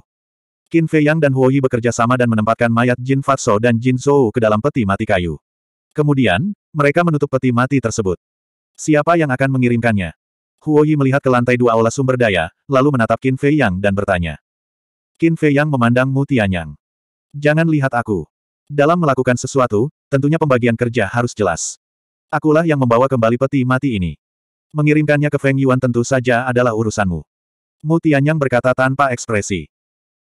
Huo Yi memandang Qin Fei Yang dan berkata sambil tersenyum, kalau begitu, aku harus merepotkan saudara Jiang untuk melakukan perjalanan. Qin Fei yang terbatuk dan berkata, saya lemah dan sakit-sakitan sejak saya masih muda. Kedua peti mati ini terlalu berat, saya tidak bisa membawanya. Huo Yi memutar matanya dan berkata tanpa daya, baiklah, aku akan pergi bersamamu. Bagaimana mungkin Dewa Perang yang sempurna tidak mampu membawa dua peti mati? Dan dia lemah dan sakit-sakitan sejak dia masih muda. Jika dia benar-benar lemah dan sakit-sakitan, bagaimana dia bisa berkultivasi sampai sejauh ini? Jika kamu tidak ingin pergi sendiri, katakan saja. Jangan membuat alasan yang tidak masuk akal. Qin Fei yang tersenyum malu. Dia membawa satu peti mati dan berkata kepada Huo Yi, kalau begitu ayo pergi. Kau benar-benar membiarkanku pergi. Huo Yi menatap tajam ke arah Qin Fei Yang. Dia hanya bisa membawa peti mati lainnya dan mengikuti di belakang Qin Fei yang saat mereka berjalan menuju pintu masuk aula sumber daya. Apa yang sedang terjadi? Mengapa kamu membawa dua peti mati? Ini sungguh sial. Melihat ini, staf di aula sumber daya segera berlari keluar dan menghentikan Qin Fei Yang dan Huo Yi. Apa yang sedang kamu lakukan? Qin Fei Yang memandang mereka dengan curiga. Adik laki-laki Jiang, kakak laki-laki Huo, kami semua tahu bahwa kamu tidak takut pada apa pun. Tapi apa maksudnya kamu membawa dua peti mati? Staf itu mengerutkan kening. Kami juga tidak mau. Tapi di dalamnya ada Jin Fatso dan Jin Zhou. Kamu juga tahu hubungan antara kedua orang ini dan tuan istana kita. Saya pasti akan mengirimkannya ke kepala istana. Qin Fei Yang berkata dengan polos. Jadi itu mereka. Anggota staf itu mengangguk mengerti, tapi ekspresi mereka segera berubah. Saudara bela diri muda Jiang, ketua balai saat ini sedang marah. Jika kamu mengiriminya dua peti mati sekarang, bukankah kamu akan membuatnya marah? Kamu masih harus bekerja di Resource Hall di masa depan. Kamu tidak bisa melakukan hal seperti ini. Orang-orang itu buru-buru berkata. Qin Fei yang berkata, lalu apa saranmu agar kita lakukan? Ini. Kenapa kita tidak menaruhnya di luar dulu? Orang-orang itu agak ragu-ragu. Tidak, tidak, ini Resource Hall. Bagaimana kita bisa meletakkan dua peti mati di luar? Qin Fei yang menggelengkan kepalanya. Itu masuk akal. Orang-orang itu mengangguk dan berkata, kalau begitu mengapa kita tidak menguburnya? Terkubur. Saya tidak berani melakukan hal seperti ini. Anda boleh pergi jika Anda mau. Jika ketua istana melanjutkan masalah ini, saya tidak dapat memikul tanggung jawab. Qin Fei yang menggelengkan kepalanya seperti genderang. Apa yang harus kita lakukan? Orang-orang itu juga khawatir. Terima kasih atas kebaikan Anda. Qin Fei yang tersenyum dan berkata, saya pikir kita harus mengirimkannya ke kepala istana kita. Jika kita benar-benar membuatnya marah, saya akan menerimanya. Hati-hati di jalan. Orang-orang itu memandang Qin Fei Yang, lalu menepuk bahu Qin Fei Yang dengan penuh simpati, lalu berbalik dan pergi melakukan urusan mereka sendiri. Qin Fei Yang dan Huo Yi saling memandang, dengan cepat berjalan ke lantai dua, dan berhenti di depan sebuah pintu. Dong! Qin Fei Yang mengulurkan tangan dan mengetuk pintu. Enyah! Teriakan marah Feng Yuan datang dari dalam. Qin Fei Yang berkata, Tuan Istana, ada yang harus kita lakukan. Mendengar suara Qin Fei Yang, Feng Yuan semakin kesal. Dia berteriak, apakah kamu sudah selesai membersihkan? Tolong tenang, harap tenang. Kami akan segera pergi. Lalu kami akan meletakkan dua peti mati ini di pintu. Qin Fei yang buru-buru berkata. Dia menatap Huo Yi dengan penuh arti dan meletakkan peti mati itu di pintu. Segera setelah itu, mereka berdua tertawa nakal dan berlari ke lantai satu. Saudara Jiang, mengapa saya merasa telah melakukan sesuatu yang buruk ketika saya masih muda? Huo Yi tertawa. Saya juga. Qin Fei yang tertawa. Peti mati. Pada saat yang sama, Feng Yuan, yang berada di dalam ruangan, sedikit terkejut. Kemudian dia bangkit dan membuka pintu dengan curiga. Ketika dia melihat ada dua peti mati di depan pintu, Feng Yuan langsung marah dan berteriak, kembali ke sini. Ya ya. Diiringi hentakan langkah kaki yang tergesa-gesa. Qin Fei Yang dan Huo Yi bergegas kembali. Feng Yuan menunjuk peti mati di pintu dan berkata dengan suara yang dalam, apa maksudmu dengan ini? Ini. Qin Fei Yang dan Huo Yi saling memandang dan berkata serempak, Mu Tianyang meminta kami untuk mengambil ini. Mu Tianyang. Feng Yuan mengertakkan gigi dan berteriak, Mutianyang, bangun di sini. Di luar alun-alun. Mutianyang, yang bersuka cita atas kemalangan Feng Yuan, segera gemetar ketika mendengar teriakan Feng Yuan dan buru-buru berlari ke aula sumber daya. Ketika dia berlari ke lantai dua dan melihat wajah Feng Yuan yang marah, jantungnya tiba-tiba berdebar kencang. Dia dengan hati-hati berjalan ke sisi Qin Fei Yang dan Huo Yi, memandang Feng Yuan dan bertanya, Tuan Balai, ada apa? Kamu meminta mereka mengirimkan ini. Feng Yuan bertanya. Ini. Mu Tianyang tertegun dan langsung menatap Qin Fei Yang dan Huo Yi. Peti mati itu memang dibawa olehnya, tapi ide ini dipikirkan oleh kedua bajingan ini, dan sekarang mereka benar-benar menyalahkannya. Bagaimana bisa ada orang yang tidak tahu malu? Feng Yuan berkata dengan marah, jawab pertanyaanku. Mu Tianyang menunduk dan berkata dengan ketakutan, aku yang membuat peti mati. Saat dia mengatakan itu, dia mengangkat kepalanya dan menunjuk ke arah Qin Fei Yang dan Huo Yi, dan berkata dengan marah, tapi mereka punya ide. Kalian luar biasa. Kamu datang dan memberiku dua peti mati, mengutukku sampai mati. Bagus sangat bagus. Feng Yuan menatap mereka bertiga dan tertawa. Eh. Qin Fei Yang dan dua lainnya tercengang. Apakah Feng Yuan mengira itu diberikan kepadanya? Sepertinya olah sumber dayaku tidak dapat menampung kalian tiga Buddha Agung. Ambil peti matinya dan segera pergi. Feng Yuan berteriak. Hall Master, ini salah paham. Ini bukan untukmu. Tidak, tidak, ini untukmu juga. Ini, ini, ini. Apa maksudmu? Setelah berputar-putar, Qin Fei yang merasa pusing. Biarkan aku mengatakannya. Mutianyang mendorong Qin Fei yang menjauh, memandang Feng Yuan, dan berkata, Tuan Balai, kedua peti mati ini milik kakak senior Jin dan Jin Zhou. Feng Yuan tertegun dan menundukkan kepalanya untuk melihat peti mati itu. Meskipun kakak senior Jin melakukan kesalahan dan dijatuhi hukuman mati oleh ketua Balai Penegakan Hukum, dia tetaplah cucumu. Jadi kami ingin mencari dua peti mati agar bisa dikuburkan dengan tenang. Kata Mutianyang. Feng Yuan sangat marah sehingga dia tertawa dan berkata, kalau begitu, bukankah saya harus berterima kasih? Tidak perlu berterima kasih padaku. Kami bekerja di bawah bimbingan Anda, Ketua Istana. Merupakan tugas dan tanggung jawab kami untuk ikut menanggung beban Anda. Itu adalah apa yang harus kami lakukan. Mu Tianyang tersenyum datar. Qin Fei Yang memandang Mu Tianyang dengan jijik. Tidak peduli apa, dia tetaplah seorang kaisar kekaisaran, tapi dia sebenarnya menunjukkan wajah budak. Namun, wajah Feng Yuan sangat muram. Feng Yuan memandang Qin Fei Yang dan Huo Yi, dan berkata, kalian berdua bersih-bersih. Ada beberapa kata yang ingin saya sampaikan kepada Mu Tianyang sendirian. Sendiri. Qin Fei Yang dan Huo Yi mengerutkan kening. Feng Yuan berkata dengan marah, apakah kamu tidak mendengar dengan jelas? Apakah Anda perlu saya mengatakannya lagi? Ya ya ya. Qin Fei Yang dan Huo Yi dengan cepat mengangguk, lalu berbalik dan pergi dengan cepat. Mu Tianyang merasa sedikit bersalah, dan dengan hati-hati bertanya, Hall Master, saya hanyalah seorang murid, dan kita dipisahkan sejauh 108.000 mil. Sepertinya tidak ada yang perlu dikatakan, kan? Feng Yuan berkata, apakah kamu masih ingat apa yang kamu katakan ketika Wen Hai pergi mencarimu ketika kamu pertama kali memasuki Istana Sembilan Surga? Ini. Mu Tianyang ragu-ragu. Terlupakan. Tapi aku belum lupa. Saat itu, Anda memberitahu kami bahwa itu tidak ada hubungannya dengan Jiang Haotian. Tapi sekarang, kamu berkolusi dengan mereka untuk membunuh cucuku. Apakah kamu tahu apa yang ingin aku lakukan sekarang? Aku ingin membunuhmu sekarang juga. Feng Yuan berteriak. Mata Mutianyang bergetar, dan buru-buru berkata, Hall Master, mohon maafkan saya, murid ini juga dipaksa. Selain itu, masalah ini benar-benar tidak ada hubungannya dengan saya. Kakak senior Jin lah yang bersikap pilih kasih. Feng Yuan berkata dengan marah, tetapi pada akhirnya, itu semua disebabkan olehmu. Ya ya ya. Murid ini bersedia menebus dosanya. Mu Tianyang mengangguk lagi dan lagi. Feng Yuan mencibir, apa yang akan kamu gunakan untuk menebus dosa-dosamu? Mu Tianyang berkata dengan hormat, di masa depan, jika guru balai membutuhkan murid ini untuk melakukan sesuatu, tolong beritahu saya, saya hanya meminta pengampunan guru balai. Feng Yuan tertegun, dan memandang Mu Tianyang. Mu Tianyang menunduk, bahkan tidak berani bernapas dengan keras. Datanglah ke ruang tungguku, mari kita ngobrol. Sesaat kemudian, Feng Yuan dengan dingin menjatuhkan kalimat dan berbalik untuk memasuki ruang tunggu. Mu Tianyang melihat punggung Feng Yuan, kilatan cahaya melintas di matanya, dan dia juga mengikuti ke ruang tunggu. Di luar alun-alun, Huo Yi melihat ke lantai dua. Huo Yi berkata, Saudara Jiang, apa yang mereka bicarakan secara pribadi? Aku tidak tahu. Qin Fei Yang menggelengkan kepalanya sambil berpikir. Tunggu.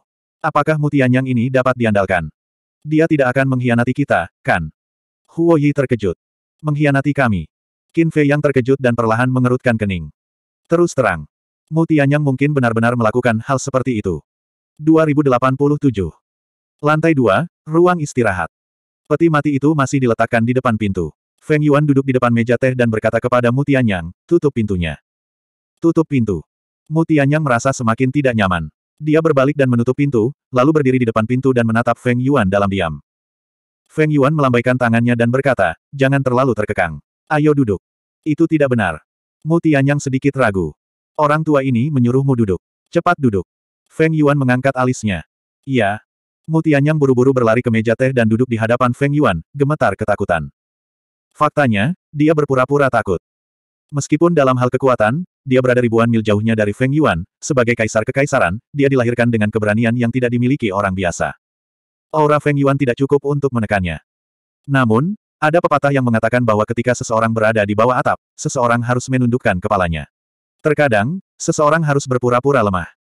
Feng Yuan membuat teh dan bertanya, baru saja, kamu mengatakan bahwa jika orang tua ini membutuhkan sesuatu, aku akan memberitahumu, bukan? Iya. Mu Tianyang mengangguk. Itu hanya lelucon. Apakah dia menganggapnya serius? Bagus. Mulai sekarang, ikuti orang tua ini. Orang tua ini akan menjamin bahwa kamu akan mengalami kemajuan pesat di Istana Empirean. Kata Feng Yuan. Ini. Ekspresi Mutianyang menjadi kosong. Bukankah ini terlalu langsung? Setidaknya jadilah sedikit lebih bijaksana. Feng Yuan berkata, saya tidak suka bertele-tele. Mutianyang merenung sejenak dan berkata, Tuan Kuil, ini agak terlalu mendadak. Terlebih lagi, saya rasa Anda tidak akan mempercayai saya. Feng Yuan menuangkan dua cangkir teh. Dia mendorong satu cangkir ke depan Mu Tianyang dan mengambil sendiri cangkir lainnya. Dia meletakkannya di ujung hidungnya dan mengendusnya. Kemudian, dia menyesapnya dan berkata, tentu saja aku tidak akan mempercayaimu. Lalu kenapa kamu ingin aku mengikutimu? Mu Tianyang mengerutkan kening. Tahukah kamu bahwa ada semacam teknik rahasia pengendalian di dunia ini yang dapat mengendalikan kehidupan orang lain? Kata Feng Yuan. Kamu ingin mengendalikanku. Mu Tianyang segera berdiri dan menatap Feng Yuan. Feng Yuan berkata dengan acuh tak acuh, jangan gelisah. Duduklah. Mu Tianyang tidak duduk. Dia bahkan ingin berbalik dan pergi. Lelucon yang luar biasa. Sebagai Raja Dewa, bagaimana ia bisa membiarkan hidupnya berada di tangan orang lain? Aku sudah menyuruhmu duduk. Apakah kamu tidak mendengarku? Tatapan Feng Yuan berubah dingin, dan nadanya membawa nada memerintah. Mu Tianyang mengangkat alisnya tanpa terasa dan kembali ke tempat duduknya. Jangan terlalu bersemangat. Sebenarnya, Lelaki tua ini tidak ingin mengendalikanmu, dan lelaki tua ini belum pernah mengendalikan siapa pun sebelumnya. Tapi aku yakin kamu tahu kalau pengkhianatan Geyong merupakan pukulan besar bagi lelaki tua ini. Kamu mungkin tidak mengetahui hal ini, tetapi mereka yang akrab dengan lelaki tua ini tahu betapa baik lelaki tua ini memperlakukan Geyong. Saya tidak hanya mempromosikan dan mengasuhnya, saya bahkan menjaga keluarganya. Bisa dikatakan lelaki tua ini memperlakukannya seperti anak saya sendiri. Tapi aku tidak pernah menyangka dia akan mengkhianatiku. Menghadapi masalah ini, hati orang tua ini sedih.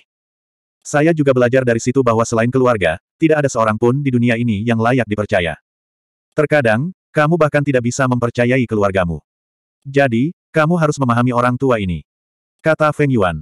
Mu Tianyang mengerutkan kening. Aku bisa memahami perasaanmu, tapi aku adalah orang yang tidak suka dikendalikan oleh orang lain. Tetapi Anda harus tahu bahwa terkadang, Anda tidak berhak memilih. Tapi jangan khawatir. Setelah orang tua ini mengendalikanmu, aku tidak akan memaksamu melakukan apa pun. Semuanya tergantung kemauanmu. Tentu saja, jika Anda mengikuti saya, kita harus memiliki pikiran yang sama. Baik itu musuh saya atau musuh Anda, mereka semua adalah musuh kita bersama. Feng Yuan tersenyum. Ini. Mu Tian yang ragu-ragu. Orang bijak tunduk pada keadaan. Tidak ada salahnya mengikuti orang tua ini. Jika Anda benar-benar tidak dapat mengambil keputusan sekarang, saya dapat memberi Anda waktu beberapa hari untuk mempertimbangkannya. Kata Feng Yuan. Mu Tianyang merenung sejenak dan menatap Feng Yuan. Apakah kamu yakin tidak akan memaksaku? Tentu saja. Feng Yuan mengangguk. Mu Tianyang menambahkan, dapatkah Anda menjamin bahwa saya akan mengalami kemajuan pesat? Saya dapat segera menunjuk Anda sebagai manajer Resource Hall. Dengan kata lain, selain saya, semua orang di Resource Hall harus mematuhi perintah Anda. Kata Feng Yuan. Itu seperti berada di atas orang lain. Mu Tianyang sedikit tergoda. Ya, benar, di bawah satu orang dan di atas segalanya. Feng Yuan mengangguk. Baiklah. Mu Tianyang mengatupkan giginya dan berkata, selama kamu menepati janjimu, aku akan mengikutimu. Kamu memang orang yang pintar.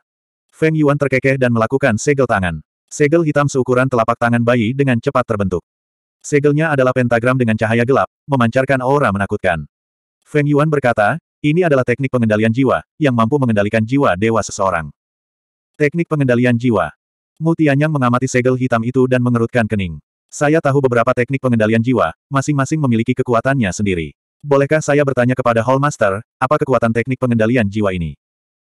Kekuatan teknik pengendalian jiwa ini adalah setelah dikendalikan, saya dapat menghapus jiwa dewa pihak lain hanya dengan sebuah pikiran. Kata Feng Yuan. Ini mirip dengan segel budak. Mutianyang bergumam dan bertanya dengan rasa ingin tahu, saya pernah mendengar tentang beberapa teknik pengendalian jiwa yang dapat mengintip ke dalam pikiran pihak lain dan merasakan lokasi pihak lain.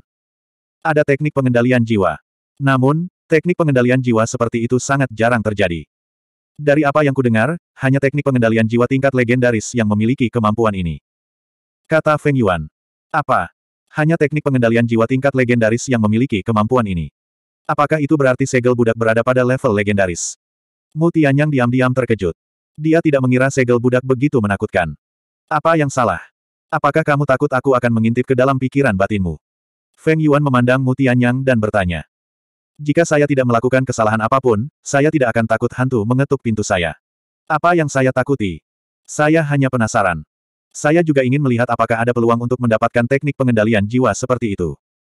Mu Tianyang berkata sambil tersenyum. Feng Yuan berkata, jangan pernah memikirkannya. Bahkan perbendaharaan seni bela diri tidak memiliki teknik pengendalian jiwa seperti itu. Bahkan mungkin tidak ada di seluruh wilayah utara. Jejak kekecewaan muncul di wajah Mutianyang. Cukup. Tenangkan pikiranmu dan jangan melawan. Prosesnya mungkin sedikit menyakitkan, tapi akan segera berakhir. Setelah Feng Yuan selesai berbicara, dia melambaikan tangannya, dan segel hitam berubah menjadi aliran cahaya dan memasuki kepala Mutianyang. Tubuh Mutianyang langsung bergetar. Tangannya menatap sandaran tangan kursi, dan wajahnya penuh kesakitan. Namun, dia bahkan tidak mengeluarkan suara selama seluruh proses. Dapat dilihat bahwa tekadnya tidak kalah dengan Qin Fei Yang. Dalam waktu kurang dari beberapa tarikan napas, kendali telah selesai. Feng Yuan juga tersenyum. Dia memandang Mutianyang dan berkata, karena kamu telah mengikutiku, aku tidak akan memperlakukanmu dengan tidak adil. Feng Yuan mengeluarkan cincin interspatial dan melemparkannya ke Mutianyang. Apa ini? Mutianyang menangkap cincin interspatial dan memandang Feng Yuan dengan curiga. Feng Yuan tersenyum dan berkata, ini adalah batu jiwa yang saya bawa. Ada sekitar 2 hingga 300 juta. 2 hingga 300 juta. Mata Mutianyang bergetar. Dia segera memeriksa cincin interspatial dan tertegun. Memang ada segunung batu jiwa di cincin interspatial. Apakah semuanya untukku? Setelah beberapa saat, Mutianyang kembali sadar. Dia menatap Feng Yuan dan bertanya dengan tidak percaya. Iya. Feng Yuan mengangguk. Terima kasih, Guru Kuil. Mu Tianyang segera bangkit dan membungkuk untuk berterima kasih padanya. Feng Yuan melambaikan tangannya dan tersenyum. Kita semua berada di pihak yang sama. Tidak perlu bersikap sopan. Ngomong-ngomong, ku dengar kamu berkata bahwa kamu dipaksa bersama Jiang Haotian dan yang lainnya. Kenapa? Ceritanya panjang. Sebenarnya, Jiang Haotian dan saya sudah saling kenal sejak lama, dan kami selalu menjadi saingan. Mu Tianyang menghela nafas. Lalu mengapa Jiang Ruoshuang memanggilmu pria yang tidak berperasaan di depan umum ketika kamu memasuki istana Empyrean? Feng Yuan curiga. Itu rencana mereka. Karena Jiang Haotian dan Feng Zijun mengalami konflik di pavilion harta karun, Jiang Haotian tahu bahwa Anda tidak akan membiarkan dia pergi. Jadi, dia ingin menyeretku bersamanya untuk berbagi tekanan. Kamu sudah melihat metodenya. Dia sangat licik. Aku tidak bisa mengalahkannya sama sekali. Mu Tianyang menghela nafas dalam-dalam. Ada sedikit keluhan di ekspresinya. Jadi begitu. Feng Yuan tiba-tiba mengerti dan bertanya dengan curiga, lalu apa latar belakangnya? Mu Tianyang berkata, dia sama sepertiku, lahir di sebuah desa kecil. Namun, karena bakat dan keberuntungan kami yang baik, kami berhasil memperoleh cukup banyak keberuntungan. Itu sebabnya kami perlahan-lahan mencapai posisi kami sekarang. Hari ini, Feng Yuan berkata dengan penuh arti, keberuntunganmu bukanlah kebaikan biasa. Apa maksudmu? Mu Tianyang curiga. Ketika kamu memasuki istana Empyrean untuk ujian, lelaki tua ini juga sedang mengamati di aula konferensi. Belatimu seharusnya merupakan senjata dewa yang legendaris, kan? Kata Feng Yuan. Ini. Mu Tianyang sedikit bingung. Jangan khawatir. Meskipun senjata dewa legendaris itu langka, bukan berarti orang tua ini tidak memilikinya. Feng Yuan tersenyum tipis. Apa? Kamu juga memiliki senjata dewa legendaris. Mu Tianyang terkejut. Tentu saja. Lagi pula, orang tua ini adalah ketua Ola, penguasa istana Empyrean. Bagaimana mungkin aku tidak punya kartu truf? Dan bukan hanya lelaki tua ini, Sangguan Fenglan, sepuluh tetua agung, dan seterusnya semuanya memiliki kartu truf yang menakutkan. Kata Feng Yuan. Wajah Mutian yang kosong. Gelombang bergulung di hatinya. Sepertinya dia meremehkan istana Empyrean. Baiklah kalau begitu, pergi dan lakukan pekerjaanmu. Orang tua ini akan mengatur agar kamu bertanggung jawab atas Resource Hall. Di masa depan, kamu akan menjadi manajer Resource Hall. Feng Yuan tersenyum. Terima kasih, Hall Master, atas bantuanmu. Mu Tianyang segera bangkit dan berkata dengan hormat. Feng Yuan berkata, ini hanya keuntungan kecil. Selama kamu bekerja keras untuk orang tua ini, akan ada kejutan yang lebih besar di masa depan. Iya. Mu Tianyang mengangguk, tetapi setelah merenung sejenak, dia berkata, tetapi Hall Master, saya merasa bahwa saya seharusnya tidak bertanggung jawab atas Resource Hall untuk saat ini. Mengapa? Feng Yuan memandangnya dengan ragu. Dua alasan. Pertama, saya baru saja datang ke Resource Hall. Jika saya menjadi manajer Resource Hall, yang lain tidak akan yakin. Kedua, Jiang Haotian. Cahaya dingin melintas di mata Mutianyang. 2088. Jiang Haotian. Feng Yuan terkejut. Dia menyesap cangkir tehnya dan memandang Mutianyang, saya ingin mendengar detailnya. Kamu baru saja mengatakannya. Setelah mengikutimu, apakah itu musuhmu atau musuhku, mereka adalah musuh kita bersama. Jadi sekarang, tentu saja aku harus membantumu menyingkirkan orang ini. Tapi aku sangat mengenal orang ini. Cara biasa tidak bisa menghadapinya sama sekali. Jadi, aku berencana untuk mengintai di sekitarnya untuk saat ini. Kata Mutianyang. Mengintai. Feng Yuan mengerutkan kening. Karena kakak senior Jin, saya mendapatkan kepercayaannya.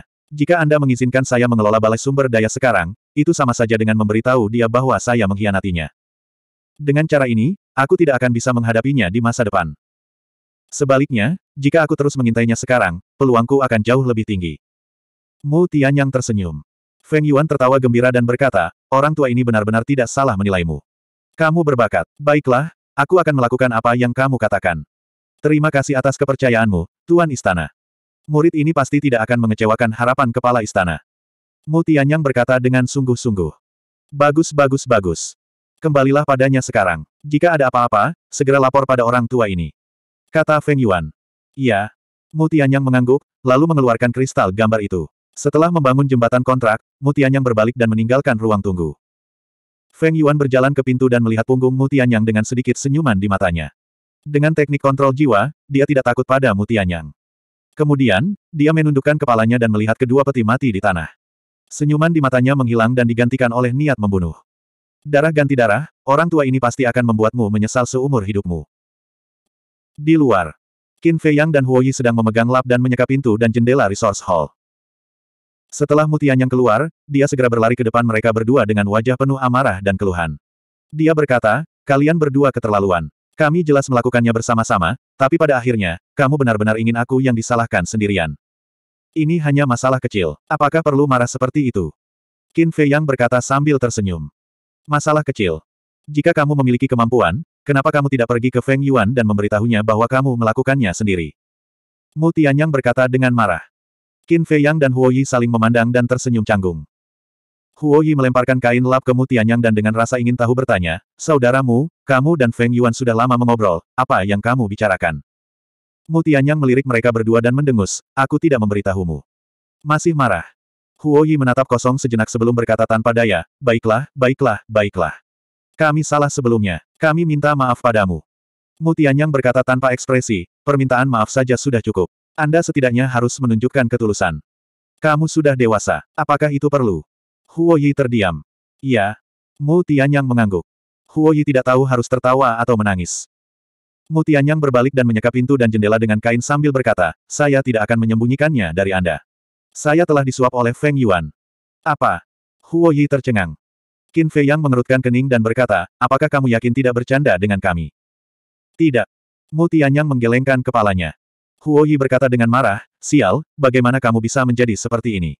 Kami sangat mempercayaimu, tapi kamu benar-benar mengkhianati kami. Kalian semua telah bergabung untuk menjadikanku kambing hitam. Mengapa aku masih harus berkubang dalam lumpur bersama kalian semua? Mu Tianyang mencibir. Qin Fei Yang mengangkat alisnya dan berkata dengan suara yang dalam, Mu Tianyang, aku tidak bercanda denganmu. Aku juga tidak bercanda denganmu. Aku benar-benar telah disuap olehnya. Dia bahkan memberiku dua atau tiga ratus juta batu jiwa. Kata Mu Tianyang. Saudara Jiang, apakah kamu melihatnya? Orang ini tidak dapat diandalkan. Huo Yi memandang Mu Tianyang dengan jijik. Qin Fei Yang memandang Huo Yi dan kemudian ke Mu Tianyang. Matanya bersinar dengan senyuman saat dia berkata, Saudara Huo, kamu salah paham. Dia tidak mengkhianati kita. Dia tidak melakukannya. Huo Yi tertegun dan berkata, dia sendiri yang mengatakannya. Qin Fei yang berkata, pikirkanlah. Jika dia benar-benar mengkhianati kita, apakah dia akan tetap berdiri di sini dan membersihkan bersama kita? Itu masuk akal. Huo Yi mengangguk. Mutianyang memutar matanya ke arah Huo Yi dan berkata, kembangkan otak dan pikirkanlah.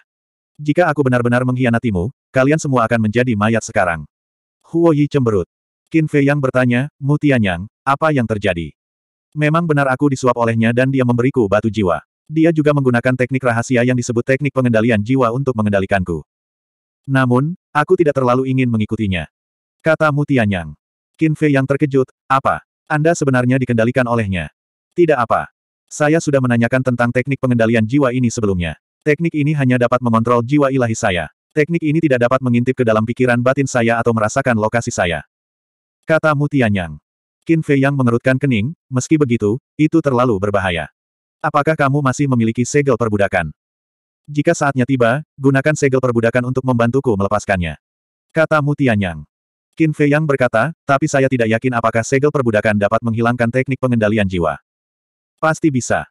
Karena menurut pertanyaanku, segel perbudakanmu kemungkinan besar adalah teknik kontrol level legendaris. Kata Mutianyang. Tingkat legendaris. Qin Fei yang tercengang.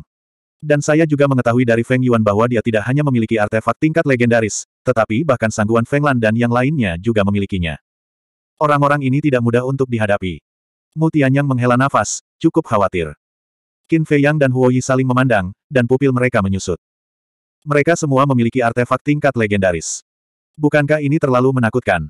Tapi itu tidak masalah. Dengan kemampuan kita, selama kita bekerja sama, kita pasti bisa menggerogoti Feng Yuan selangkah demi selangkah. Mu Tianyang mencibir. Kalau begitu aku harus merepotkanmu. Qin Fei yang tersenyum. Mu Tianyang berkata dengan acuh tak acuh, selama kamu tidak berterima kasih di masa depan. Qin Fei yang tersenyum. Dia masih tahu apa yang penting dan apa yang penting. Berurusan dengan Feng Yuan adalah hal yang paling penting. Namun, dia juga memahami di dalam hatinya bahwa Mu Tianyang mendekati Feng Yuan bukan sepenuhnya untuk berurusan dengan Feng Yuan, tetapi alasan terbesarnya tetaplah Soul Fein. Karena hanya dengan mendapatkan kepercayaan Feng Yuan dia bisa mengetahui di mana vena jiwa istana sembilan surga disembunyikan dengan kecepatan tercepat. Waktu berlalu. Mereka bertiga menghabiskan setengah hari dan akhirnya membersihkan ruang sumber daya dan alun-alun.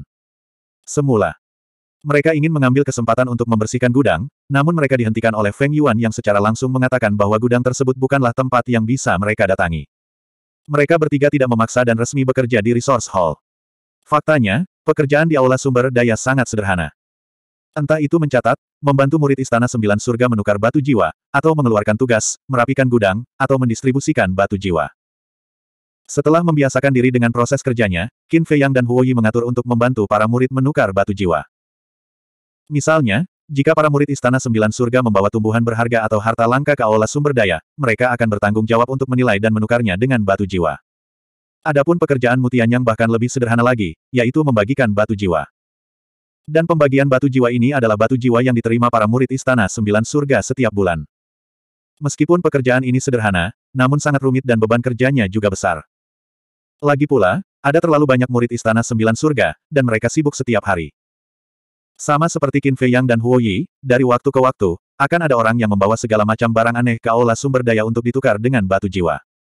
Yang terpenting adalah Anda tidak boleh salah memperkirakan harga. Jika terlalu rendah, para murid pasti tidak senang. Jika terlalu tinggi, Feng Yuan pasti tidak akan memaafkan mereka. Setelah hari pertama ini, mereka bertiga cukup lelah. Ketika mereka kembali ke gua pada malam hari, mereka bahkan tidak mau bercocok tanam, berbaring di tempat tidur dan tidur nyenyak. Dua hari berikutnya, sebuah berita mengejutkan menyebar di Istana Sembilan Surga. Hei hei hei, tahukah kamu? Paviliun Harta Karun akan melelang sebuah pil bernama pil ilahi tak terbatas empat simbol. Pil ini dapat membuat Dewa Perang menerobos kultivasi. Apa? Ada pil seperti itu di dunia. Berita ini telah menyebar ke seluruh wilayah utara. Benar sekali. Kapan pelelangannya akan diadakan? Dalam dua hari, lokasinya akan berada di Paviliun Harta Karun Kota Naga Langit.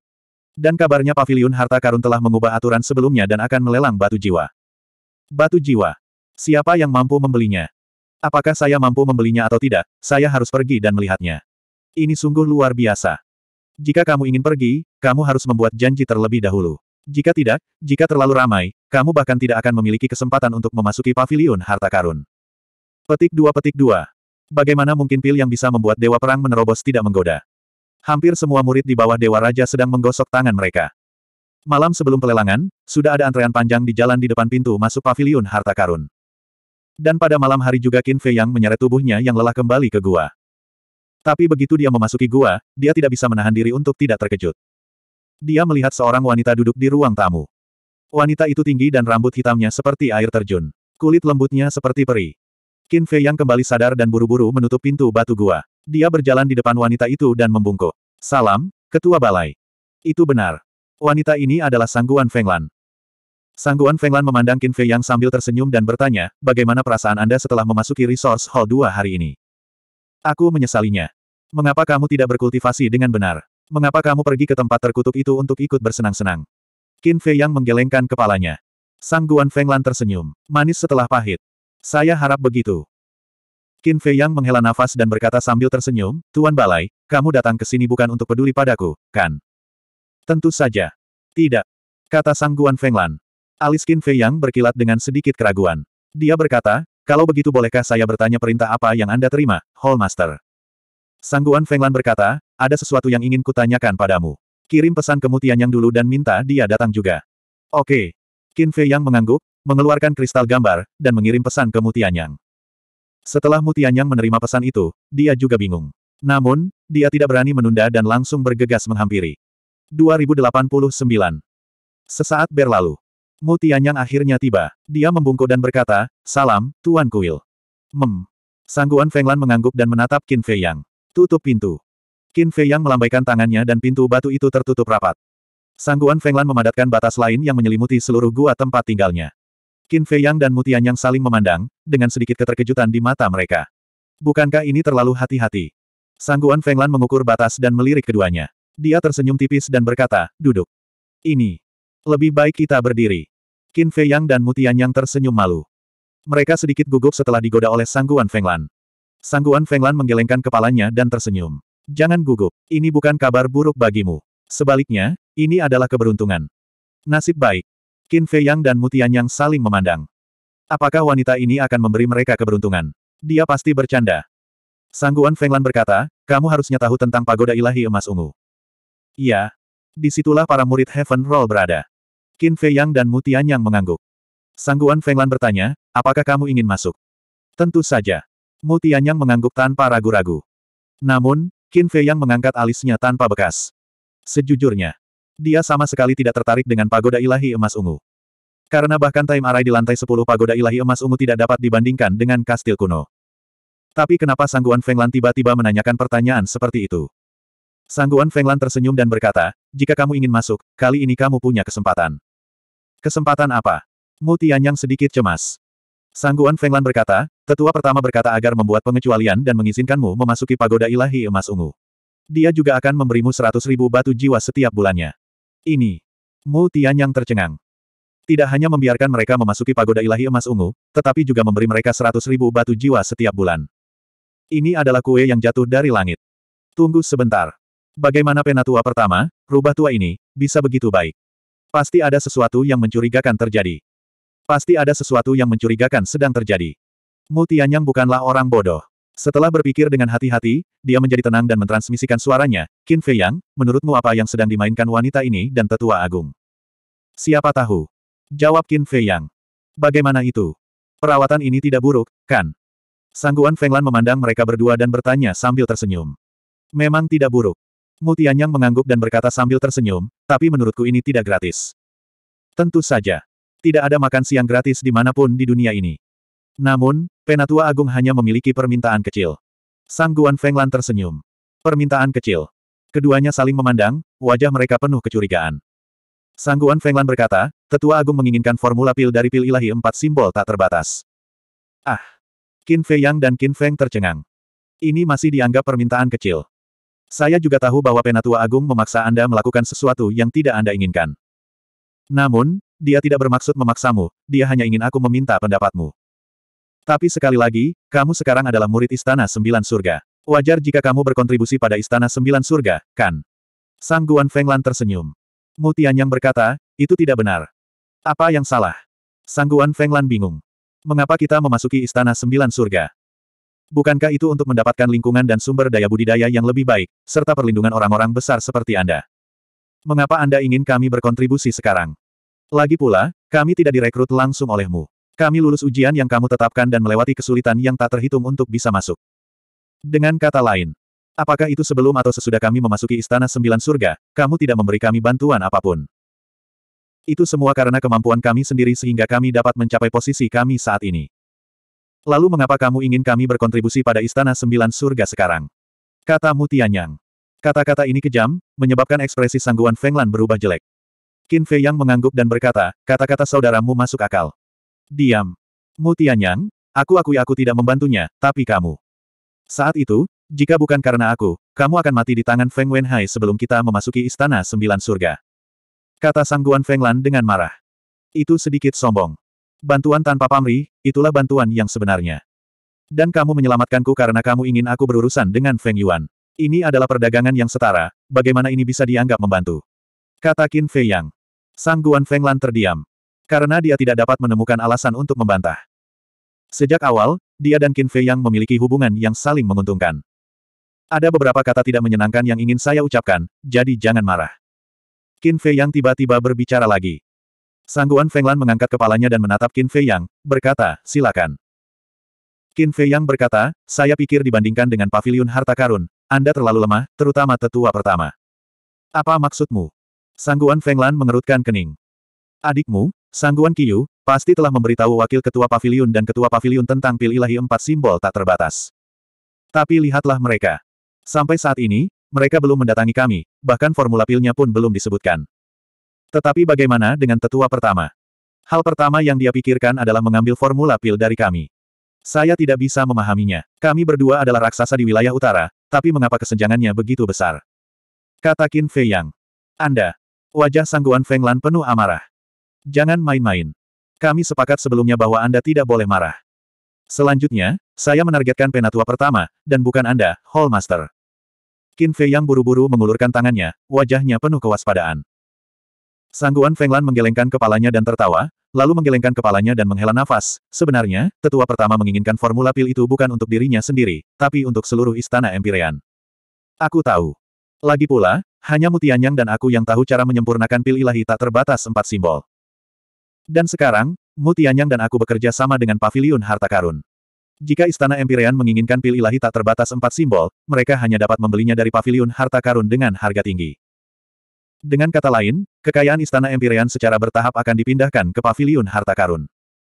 Dalam jangka panjang, perkembangan Paviliun Harta Karun pasti akan lebih cepat daripada Istana Empyrean, atau bahkan melampauinya. Kata Qin Fei Yang. Ketika Sangguan Fenglan mendengar ini, dia tampak agak terkejut. Dia tidak menyangka anak laki-laki ini berpandangan jauh ke depan. Qin Fei Yang berkata lagi, tapi apa hubungannya ini denganku? Saya hanya ingin mencari tempat untuk berkultivasi dengan damai. Jika Istana Empyrean tidak bisa memberiku ini, lalu apa gunanya tinggal di Istana Empyrean? Saudara Jiang, mengapa kita tidak pergi ke paviliun harta karun? Saya yakin orang-orang di sana tidak akan memaksa kita untuk menyerahkan formula pilnya. Mu Tianyang tiba-tiba berkata. Qin Fei yang tertegun, lalu menamparkan kepalanya dan berkata dengan kesal, mengapa saya tidak memikirkan hal itu? Ide bagus. Diam. Sangguan Fenglan segera menegur sambil melirik ke pintu batu yang tertutup, sebaiknya kamu mengubur kata-kata seperti ini di perutmu di masa depan. Kalau tidak, ketika jatuh ke telinga tetua pertama, kamu akan menderita. Hanya bercanda, hanya bercanda. Kami tidak punya nyali. Qin Fei Yang dan Sangguan Feng Lan tertawa canggung. Lebih baik tidak. Meskipun kamu memiliki bakat yang luar biasa, di wilayah utara, hidup dan matimu berada di tangan tetua pertama. Sangguan Feng Lan berkata dengan suara rendah. Dipahami. Wakil Master Pavilion adalah contoh yang bagus. Qin Fei Yang mengangguk dan tersenyum. Dengan perlindungan Master Pavilion Harta Karun, Wakil Master Pavilion masih kehilangan satu kakinya. Tidak sulit membayangkan betapa menakutkannya cara yang dilakukan oleh tetua pertama. Diam. Jangan menyebut Wakil Master Pavilion lagi. Sangguan Fenglan berteriak lagi. Ya ya ya. Qin Fei Yang mengangguk berulang kali. Sangguan Fenglan menghela napas dan bertanya, Anda benar-benar tidak setuju untuk menyumbangkan formula pil. Keduanya mengangguk tanpa ragu-ragu. Sangguan Fenglan memandang mereka berdua dalam-dalam, lalu bangkit dan berkata, baiklah, saya akan melapor kepada tetua pertama apa adanya. Saya tidak dapat memprediksi apa yang akan terjadi pada akhirnya. Qin Fei yang tersenyum dan berkata, saya yakin tetua pertama akan membuat pilihan yang bijaksana. Kamu tidak khawatir sama sekali. Sangguan Fenglan tersenyum dingin, lalu menghilangkan penghalang itu dan segera pergi. Setelah Sangguan Fenglan pergi, Qin Fei yang berkata dengan marah, seperti yang diharapkan, ada masalah lagi. Mutianyang mengerutkan kening dan berkata, bagaimana jika tetua pertama benar-benar memaksa kita untuk menyerahkan formula pilnya? Qin Fei yang merenung sejenak dan bertanya, menurutmu apa yang harus kita lakukan? Lagi pula aku tidak akan memberikan formula pil padanya. Mu Tianyang mencibir. Qin Fei yang tersenyum dan berkata, saya pikir Anda akan mengatakan bahwa Anda tidak punya pilihan selain memberikannya padanya. Kamu pasti bercanda. Apa untungnya bagi kita jika kita memberikan formula pil itu padanya? Seratus ribu batu jiwa per bulan tidak layak disebutkan dibandingkan dengan bagian yang kita dapatkan dari paviliun harta karun. Mengenai pagoda ilahi emas ungu, sejujurnya, saya tidak terlalu mempedulikannya. Wajah Mutianyang penuh dengan penghinaan, tetapi tiba-tiba matanya berputar dan dia tersenyum licik. Jika mereka bisa merebut kastil kunomu dan memberikannya kepadaku, aku pasti setuju. Naif. Setelah kastil kuno disegel, bahkan aku tidak bisa mengeluarkannya, apalagi mereka. Selain itu, Meskipun mereka punya cara untuk mengeluarkannya, apakah menurutmu mereka akan memberimu harta karun yang menantang surga? Qin Fei yang mencibir. Mu Tianyang menggelengkan kepalanya tanpa daya. Itu benar. Jika orang-orang besar dari Istana Surga ke-9 mengetahui bahwa susunan waktu di kastil kuno bahkan lebih menakutkan daripada pagoda ilahi emas ungu, mereka pasti akan mengambilnya sendiri. Suatu hari sama dengan satu tahun, betapa menantangnya hal itu. Lupakan saja, aku akan kembali dulu. Beritahu aku jika terjadi sesuatu. Setelah mengatakan itu, Mutianyang berubah menjadi aliran cahaya dan terbang keluar gua seperti kilat, menghilang tanpa jejak. Jauh di dalam istana surga ke-9. Sangguan Fenglan berdiri dengan hormat di depan tetua pertama. Sebaliknya, penatua pertama sedang duduk di kursi dengan kepala menunduk. Dia diam dan ekspresinya tidak yakin. Setelah sekian lama, Tetua pertama menatap Sangguan Fenglan dan mengerutkan kening. Menghadapi godaan pagoda ilahi emas ungu dan seratus ribu batu jiwa per bulan, mereka benar-benar tidak tergerak sama sekali. Awalnya, mereka sedikit tergoda, tetapi ketika saya meminta mereka untuk menyumbangkan formula pil dari pil ilahi tak terbatas empat simbol, mereka langsung menolak. Sangguan Fenglan tersenyum tak berdaya. Apakah kamu memberitahu mereka bahwa ada rentang waktu di pagoda ilahi emas ungu? Tetua pertama bertanya. Semua murid istana surga kesembilan mengetahui hal ini. Apakah saya masih perlu mengatakannya? Sangguan Fenglan tersenyum pahit. Lalu apa yang terjadi? Penatua pertama tercengang. Mereka sebenarnya bisa menolak godaan rentang waktu. 2090. Sangguan Fenglan merenung sejenak dan berkata, Tetua Agung, saya rasa kita tidak bisa memaksa mereka. Mereka adalah murid istana sembilan surga kita. Apakah salah jika lelaki tua ini meminta mereka menyumbangkan resep pil? Lagi pula, lelaki tua ini tidak meminta apa-apa. Saya juga memberi mereka banyak manfaat. Kata Tetua Agung dengan marah. Tetapi mereka mungkin tidak peduli dengan manfaat yang Anda berikan kepada mereka. Lebih baik membiarkan alam mengambil jalannya. Dalam hal. Pada titik ini, entah kenapa, Sangguan Fenglan tiba-tiba berhenti. Tidak hanya ada sedikit rasa takut di wajahnya, tapi juga ada sedikit penyesalan. Kalau-kalau apa? Penatua Agung curiga. Ini. Sangguan Fenglan ragu-ragu. Tidak ada salahnya mengatakannya. Kata Penatua Agung. Sangguan Fenglan menarik napas dalam-dalam, memandang Tetua Agung, dan berkata, kalau-kalau kita mengulangi kesalahan Qin Batian. Wajah Tetua Agung tiba-tiba menjadi muram. Aku tahu kamu akan marah ketika aku menyebut orang ini, tapi aku tidak dapat menyangkal bahwa istana sembilan surga kita terlalu kuat saat itu. Kalau tidak, dia tidak akan menghilang. Jika dia tidak menghilang, maka dengan bakatnya, aku khawatir dia sudah berada di level kepala istana atau wakil kepala istana sekarang. Sangguan Fenglan menghela nafas. Cukup, cukup. Orang tua ini tidak ingin mendengar nama ini lagi. Penatua Agung melambaikan tangannya dengan tidak sabar. Sangguan Fenglan mendengar ini dan menghela nafas dalam hati. Kemudian, dia terdiam dan diam-diam menatap ke arah Tetua Agung. Hah! Setelah waktu yang lama, Penatua Agung menghela nafas panjang. Ekspresinya tiba-tiba menjadi sedikit kuyu. Dia melambaikan tangannya pada Sangguan Fenglan dan berkata, masalah ini terserah padamu. Iya. Sangguan Fenglan membungkuk dan menjawab, lalu berbalik dan pergi. Qin Batian. Lu Zhengyang. The Great Elder juga berdiri dan berjalan ke jendela. Dia memandangi langit malam di luar, dan ada kesedihan yang tak terlukiskan di wajahnya. Dini hari berikutnya. Qin Fei Yang, Mu Tianyang, dan Huo Yi pergi ke Resource Hall lebih awal seperti biasa. Tidak lama kemudian, Feng Yuan perlahan turun dari lantai dua dengan tangan di belakang punggung. Salam, Ketua Balai. Semua orang di aula sumber daya, termasuk Qin Fei Yang dan dua lainnya, segera membungkuk. Iya. Feng Yuan dengan acuh tak acuh mengangguk dan berkata, Jiang Haotian, Huo Yi, Mu Tianyang, kemarilah. Mereka bertiga saling memandang dan bergegas ke sisi Feng Yuan. Feng Yuan mengeluarkan kantong alam semesta dan melemparkannya kepada mereka bertiga, lalu berkata, segera pergi ke pavilion harta karun. Apa pun yang terjadi, kalian harus menawar pelet ilahi tak terbatas empat simbol. Mu Tianyang bertanya dengan curiga, apa yang kamu inginkan dari pelet ilahi tak terbatas empat simbol? Feng Yuan berkata, jangan khawatir tentang itu. Pergilah. Iya. Mu Tianyang mengangguk dan menyimpan tas Qian Kun. Kemudian, dia memanggil Qin Fei Yang dan dua lainnya, dan berjalan keluar. Mu Tianyang, orang tua ini telah mengatur orang-orang di gerbang utara. Pikirkan cara untuk membawa mereka ke gerbang utara. Jika waktunya tiba, kamu akan membantu dari samping. Kamu harus melenyapkan kedua orang ini. Saat mereka bertiga melangkah keluar pintu, suara Feng Yuan tiba-tiba terdengar di benak Mu Tianyang. Mu Tianyang tercengang. Dia tidak berbalik, juga tidak berhenti. Dia menjawab dalam pikirannya, dimengerti. Mengenai hal ini, Qin Fei Yang dan Huo Yi tidak menyadarinya. Mereka bertiga meninggalkan istana sembilan surga. Ketika mereka sampai di dasar Sky Stairway, Huo Yi mengeluarkan altar transmisi dan berkata, apakah kita akan langsung menuju pavilion harta karun? Tidak. Pergi ke gerbang utara. Mu Tianyang mengirimkan suaranya. N. Qin Fei Yang dan Huo Yi memandangnya dengan heran. Dia benar-benar mengirimkan suaranya. Mu Tianyang berkata dalam benaknya, Ketika kami meninggalkan aula sumber daya, Feng Yuan diam-diam memberitahuku bahwa dia telah mengatur orang-orang di gerbang utara. Apa? Bajingan tua itu ingin segera mengambil tindakan terhadap kita. Huo Yi berkata dengan marah. Kamu seharusnya merasa tersanjung. Jika itu orang lain, apakah dia akan begitu teliti? Mu Tianyang menyombongkan diri. Huo Yi memutar matanya ke arahnya dan menatap lelaki tua berambut putih di samping Sky Stairway. Saat menghidupkan kembali altar, dia mengirimkan suaranya, karena dia telah menyiapkan penyergapan di gerbang utara, maka kita harus menghindarinya. Mengapa kita mengambil inisiatif untuk mengirim diri kita sendiri? Tentu saja untuk mengetahui kelemahannya. Mu Tianyang tertawa diam-diam. Kelemahan. Huo Yi curiga. Saudaramu maksudnya karena orang-orang ini diatur oleh Feng Yuan, selama kita menangkap mereka hidup-hidup, Feng Yuan tidak akan bisa membela diri. Qin Fei yang diam-diam berkata. Jadi begitu. Huo Yi tiba-tiba mengerti. Pada saat ini, altar dihidupkan kembali. Mereka bertiga berjalan satu demi satu. Saat berikutnya, mereka turun ke dataran di luar gerbang utara. Di dataran, sudah ada lautan manusia. Gerbang kota juga ramai. Tanpa keraguan. Orang-orang ini ada di sini untuk berpartisipasi dalam pelelangan.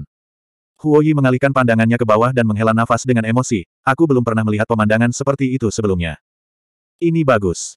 Semakin banyak orang, semakin banyak nilai dari pil ilahi tak terbatas empat simbol yang akan tercermin. Mu Tianyang diam-diam tertawa. Qin Fei yang mengangguk. Dia sudah bisa membayangkan bahwa akan ada pertempuran sengit di rumah lelang pavilion harta karun hari ini. Namun, ini bukanlah masalah yang dia khawatirkan. Dia mengamati kerumunan, mencari antek Feng Yuan. Orang-orang ini pasti bersembunyi di tengah keramaian. Orang-orang yang diatur oleh Feng Yuan jelas bukan karakter sederhana. Dengan kekuatan kita bertiga, bisakah kita menghentikan mereka? Huo Yi mengirimkan suaranya, sedikit khawatir. Jangan khawatir.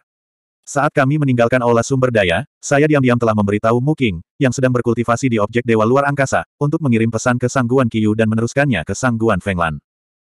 Saya pikir Sangguan Fenglan sudah bergegas menuju kota naga langit. Dia bahkan mungkin ada di sini. Mutianyang diam-diam berpikir, dan pada saat yang sama memindai kehampaan. Sebagai kepala balai penegakan hukum, Sangguan Fenglan harus memiliki benda dewa luar angkasa. Dan sekarang, dia mungkin bersembunyi di objek dewa luar angkasa, memantau semuanya di sini. Kamu sudah memberitahu Laner.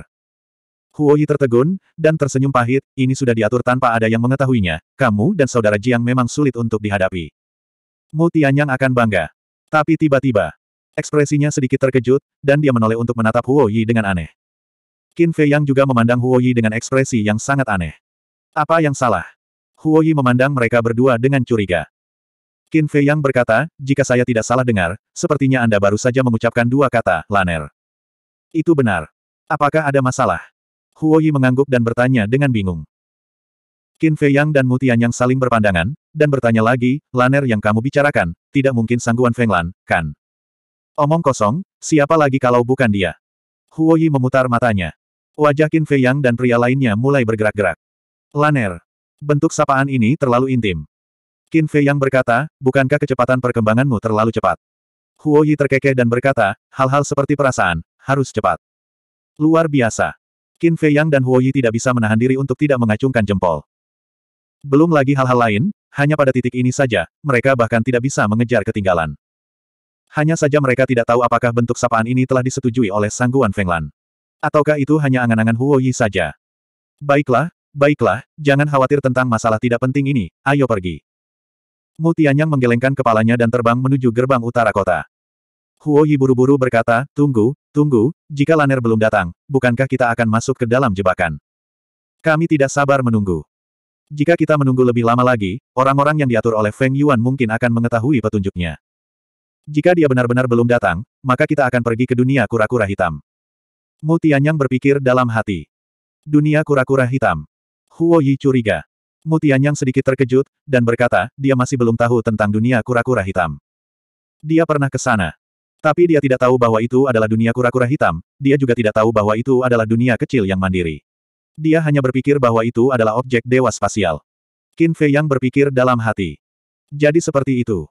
Mutian yang bergumam, dan terbang menuju gerbang utara kota sambil berkata, dunia kura-kura hitam adalah objek ilahi spasial saudara Jiang. Huo Yi mengangguk menyadari, dan mengikuti di samping Qin Fei Yang. Dia mengamati lautan manusia di bawah, dan berkata, Feng Yuan ini juga pintar, memilih hari ini untuk membunuh kita.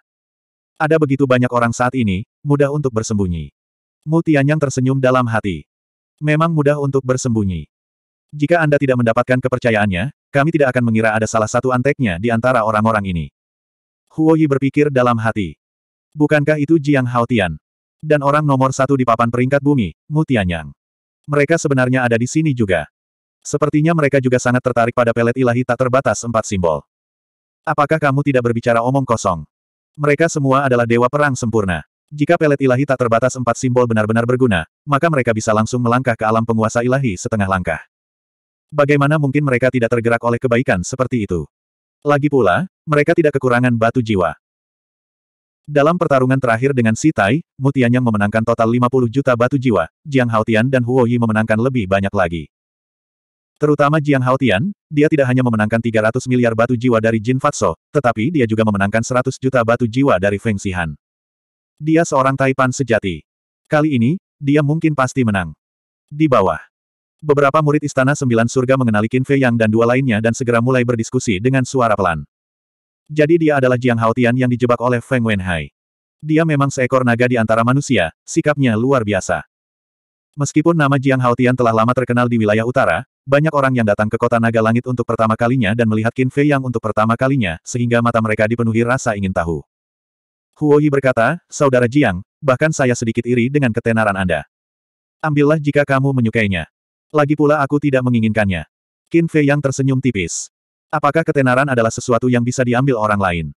Huo Yi terdiam. Mereka bertiga mengobrol dan tertawa, sesekali menyapa orang-orang di bawah, namun diam-diam mereka selalu waspada. Jaraknya sekitar 5 hingga 600 kaki dari gerbang kota. Suara mendesing. Tiba-tiba, empat pria parubaya berpenampilan biasa dengan pakaian sederhana membubung ke langit dari kerumunan di belakang dan terbang menuju gerbang kota utara seperti kilat. Hem. Huo Yi terkejut dan menatap mereka berempat, mengirimkan pesan, apakah itu mereka? Aku tidak tahu. Feng Yuan hanya mengatakan bahwa dia telah mengatur orang-orangnya, tetapi dia tidak mengatakan siapa mereka. Pikir Mu Tianyang. Kita tidak boleh gegabah. Keempat orang ini sepertinya terbang menuju gerbang kota utara, tapi mereka berada di jalur yang sama dengan kita. Saat mereka mendekat, mereka tiba-tiba menyerang kita dari belakang dan kita bahkan tidak punya kesempatan untuk melawan. Qin Fei Yang mengirim pesan. Iya. Huo Yi dan Mu Tianyang diam-diam merespons dan menjadi lebih waspada.